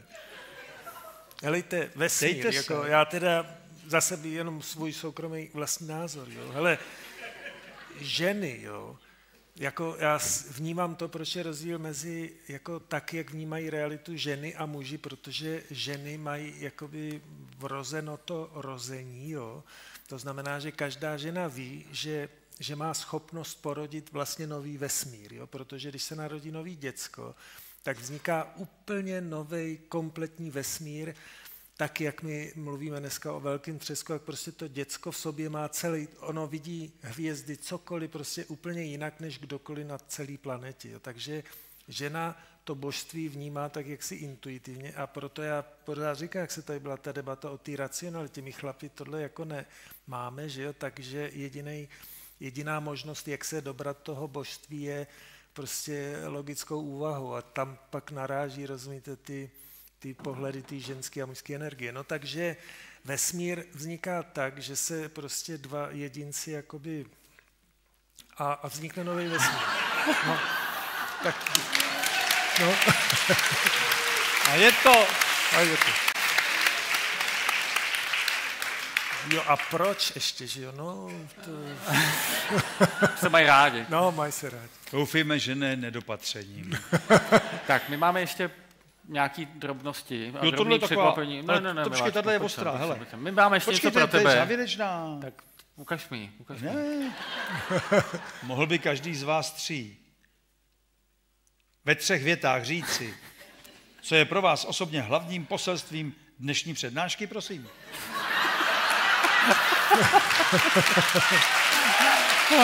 A musel jsi to přečíst, jo. Tak jestli to začnete vy dva, já to pak řeknu dobře, jo? No, nyní je nemůžete zaskočit. Takže jedeš Začni tři věty. Ne? Já mám, já, já řeknu jednu, vět, jednu větu.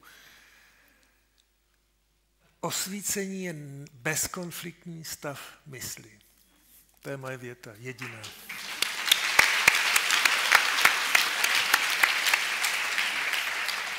No, řeknu to zás. Kež jsou všechny bytosti šťastné.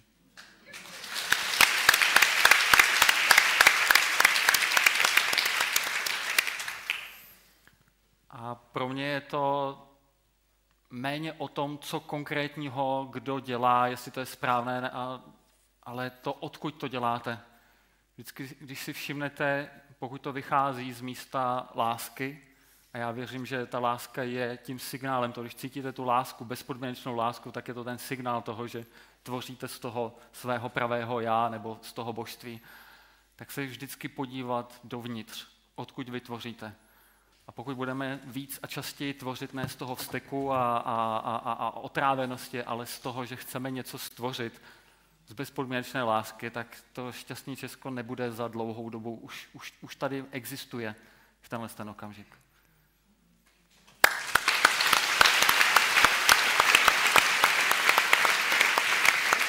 My pro vás něco, něco ještě máme. Já ještě předtím, než, než, než poděkujeme vám a, a, a obdarujeme vás možná něčím, tak ještě chci poděkovat a, a, našim sponzorům, protože e, tím, že celý výnos a, a výtěžek tady, tady z toho představení jde, jde na prostě úžasnou nadaci a opravdu něco, co pomáhá, tak tím, že jsme měli sponzory, tak toho zůstane ještě víc a, a bude se moc pomáhat. Takže ten opravdu, opravdu velikánská vděčnost eh, společnosti Lasvit.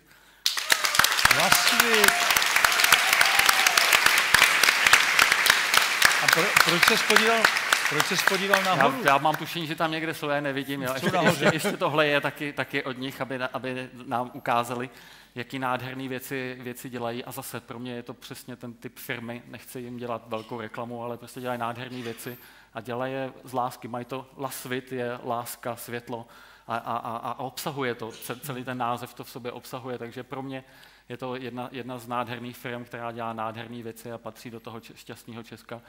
A chci moc poděkovat, eh, eh, spousta z vás dostala eh, e-maily a, a, a všechno, který k vám přišli, protože naším sponzorem je i společnost Smart Emailing, kteří nás podporují dlouhodobě. Nejen ten večer, ale dlouhodobě a my jim děkujeme.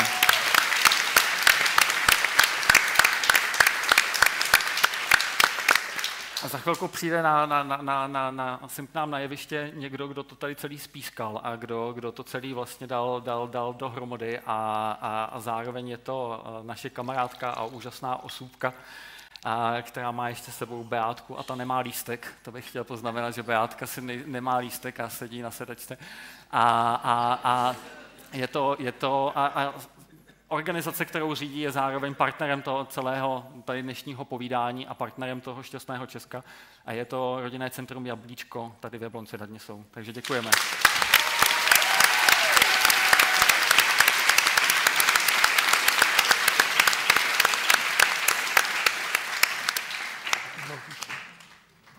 Jo, tak počkej. Jo.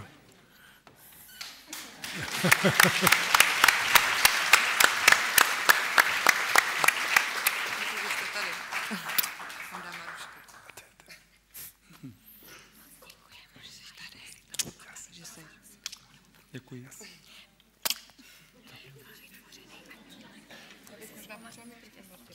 Jo. Pojď, takhle, jak je tady. Jo, takhle blízko. Jo, Eh, jasně. Tak a teď jsem úplně Jasně. vykolejená. Ale děkuju moc. No. Eh, To, co jsem tady přinesla a Maručka se mnou, ty dárečky pro vás, bylo mi jasné, že se tady budeme bavit neustále o bytostech. A proto nesu tuhle úžasnou bytost, která tady zatím není úplně dokonalá. Z Jabloně? Eh, To asi budeš muset potom směřovat dotaz na autora. Někdo volal Myslím, ano. že ukazuje palec nahoru, jestli dobře vidím. Ano. Je to z Jakubovy z dílny. Mhm. Už jenom ten název si myslím, že vypovídá hodně. A to, co nevypoví ten název, tak je tady sepsáno ještě. Mhm. Takže to ti takhle předám, jestli můžu. Děkuju. Tak vidět, jak se mi klopou ruce. Petinka se mele. A to nikdo netleská. Cože? Mhm, Děkuji. Eh, Tady na té bytosti máte památku, abyste věděli, kdy jste ji dostali. A od těchhle z těch úžasných bytostí, které jsou tady, protože mi bylo jasný, že bude sál plných andělů. Protože to bytost eh, pro mě hodně vyjadřuje, že to už je jenom takový malý krůček k tomu, se stát fakt tím andělem na zemi. A takhle tam patří pak to srdíčko. Když si do Jo. toho postavíš, až umístíš tu bytost, tam tam patří. Děkuju, děkuju pěkně. Bytost, teď aby mě hlavně bytost neupadla. Děkuju. Tak máme bytost. Díky. Ještě, ještě, ještě, ještě se posaďte na chviličku. Já jenom tleskám tady jako bytost. Jo.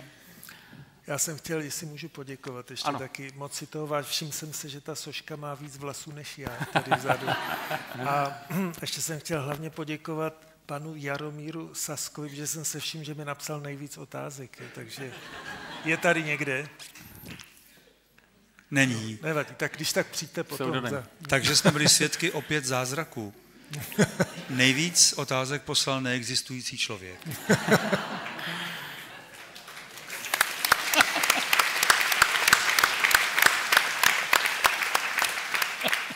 My pro vás ještě máme jednu pozvánku a než, se k ní, než nám ji nastaví, tak já bych ještě měl jedno, jeden dárek a jedno uh, poděkování jedné, jedné úžasné osobě, která jsem uh, dorazila navzdory velikánským bolestem a, a tohle. A je to někdo, komu my říkáme, že to je srdce celé naší eh, neziskové organizace a to je Kačenka Fischerová.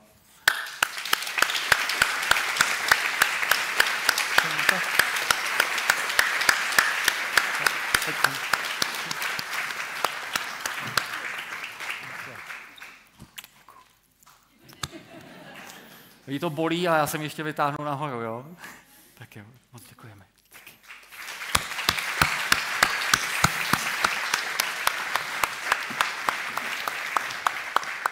A já jsem říkal na začátku, že bychom byli moc rádi, kdyby, nebo že víme, že jedna beseda nic, nic sama o sobě obvykle ne, ne, ne, nevyřeší nebo ne, ne, nezachrání.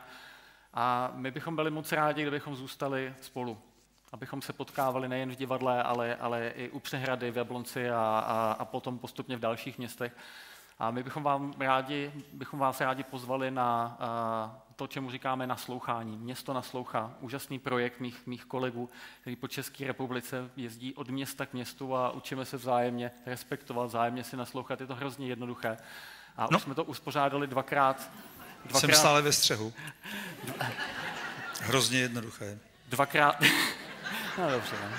Jsem ve střehu. Strašně jednoduché. Ne, a, a, Příšerně jednoduché. Děsně jednoduché. A, a, a budeme moc rádi, když se, když se spolu potkáme na, na dalším naslouchání tady, tady, tady v Jablonci. A kdybyste chtěli vidět, jak to tady může vypadat, nebo jak to může vypadat, tak bych poprosil, jestli nám pustíte ukázku toho, jak se naslouchá v Jablonci nad Nisou.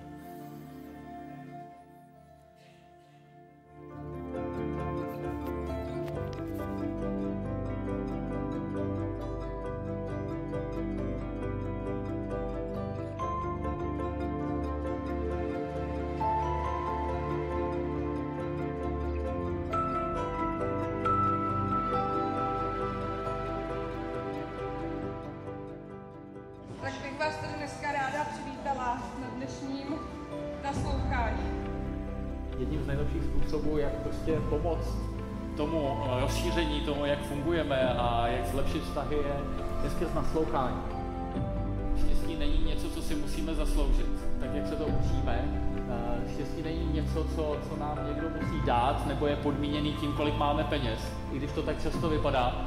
Ale my jsme přesvědčení, že se štěstím se rodíme.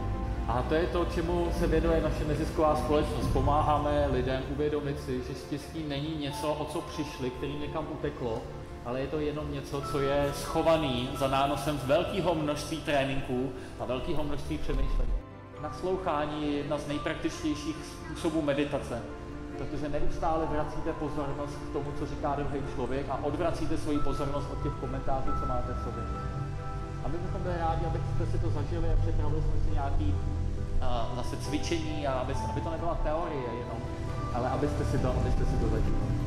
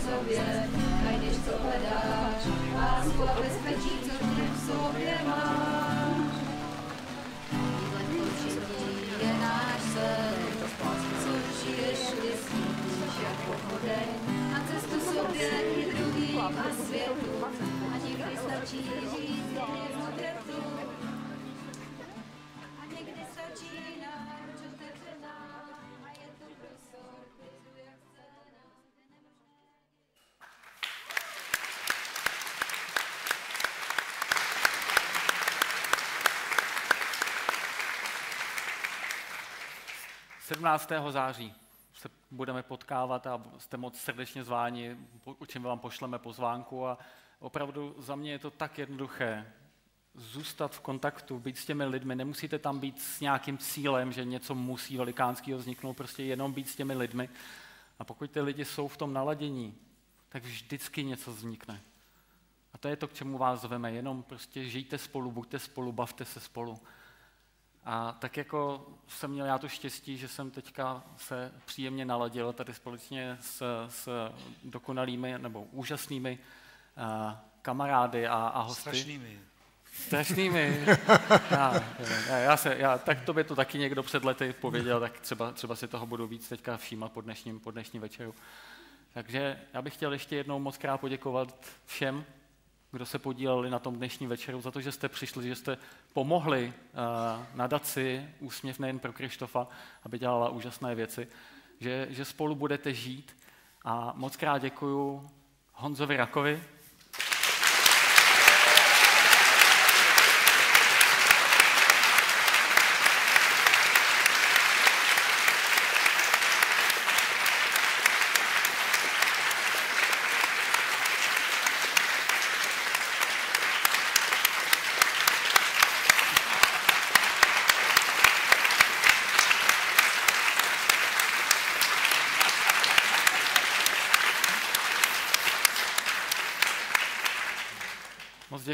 Jardovi Duškovi za všechno, co dělá, za to, že přijel a za to, že je takový, jaký je.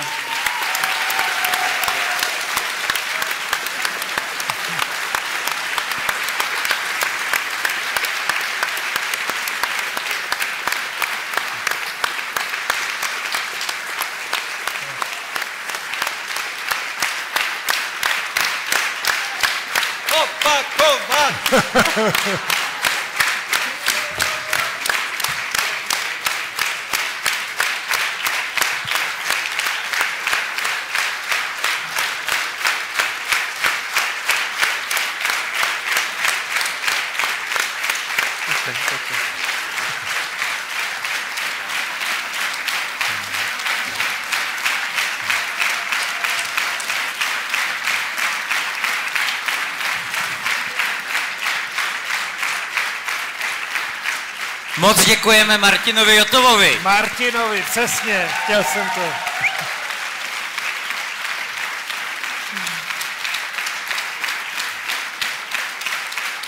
No tak už zase. Nechte toho. Ušel se moc. Zase neblázněte.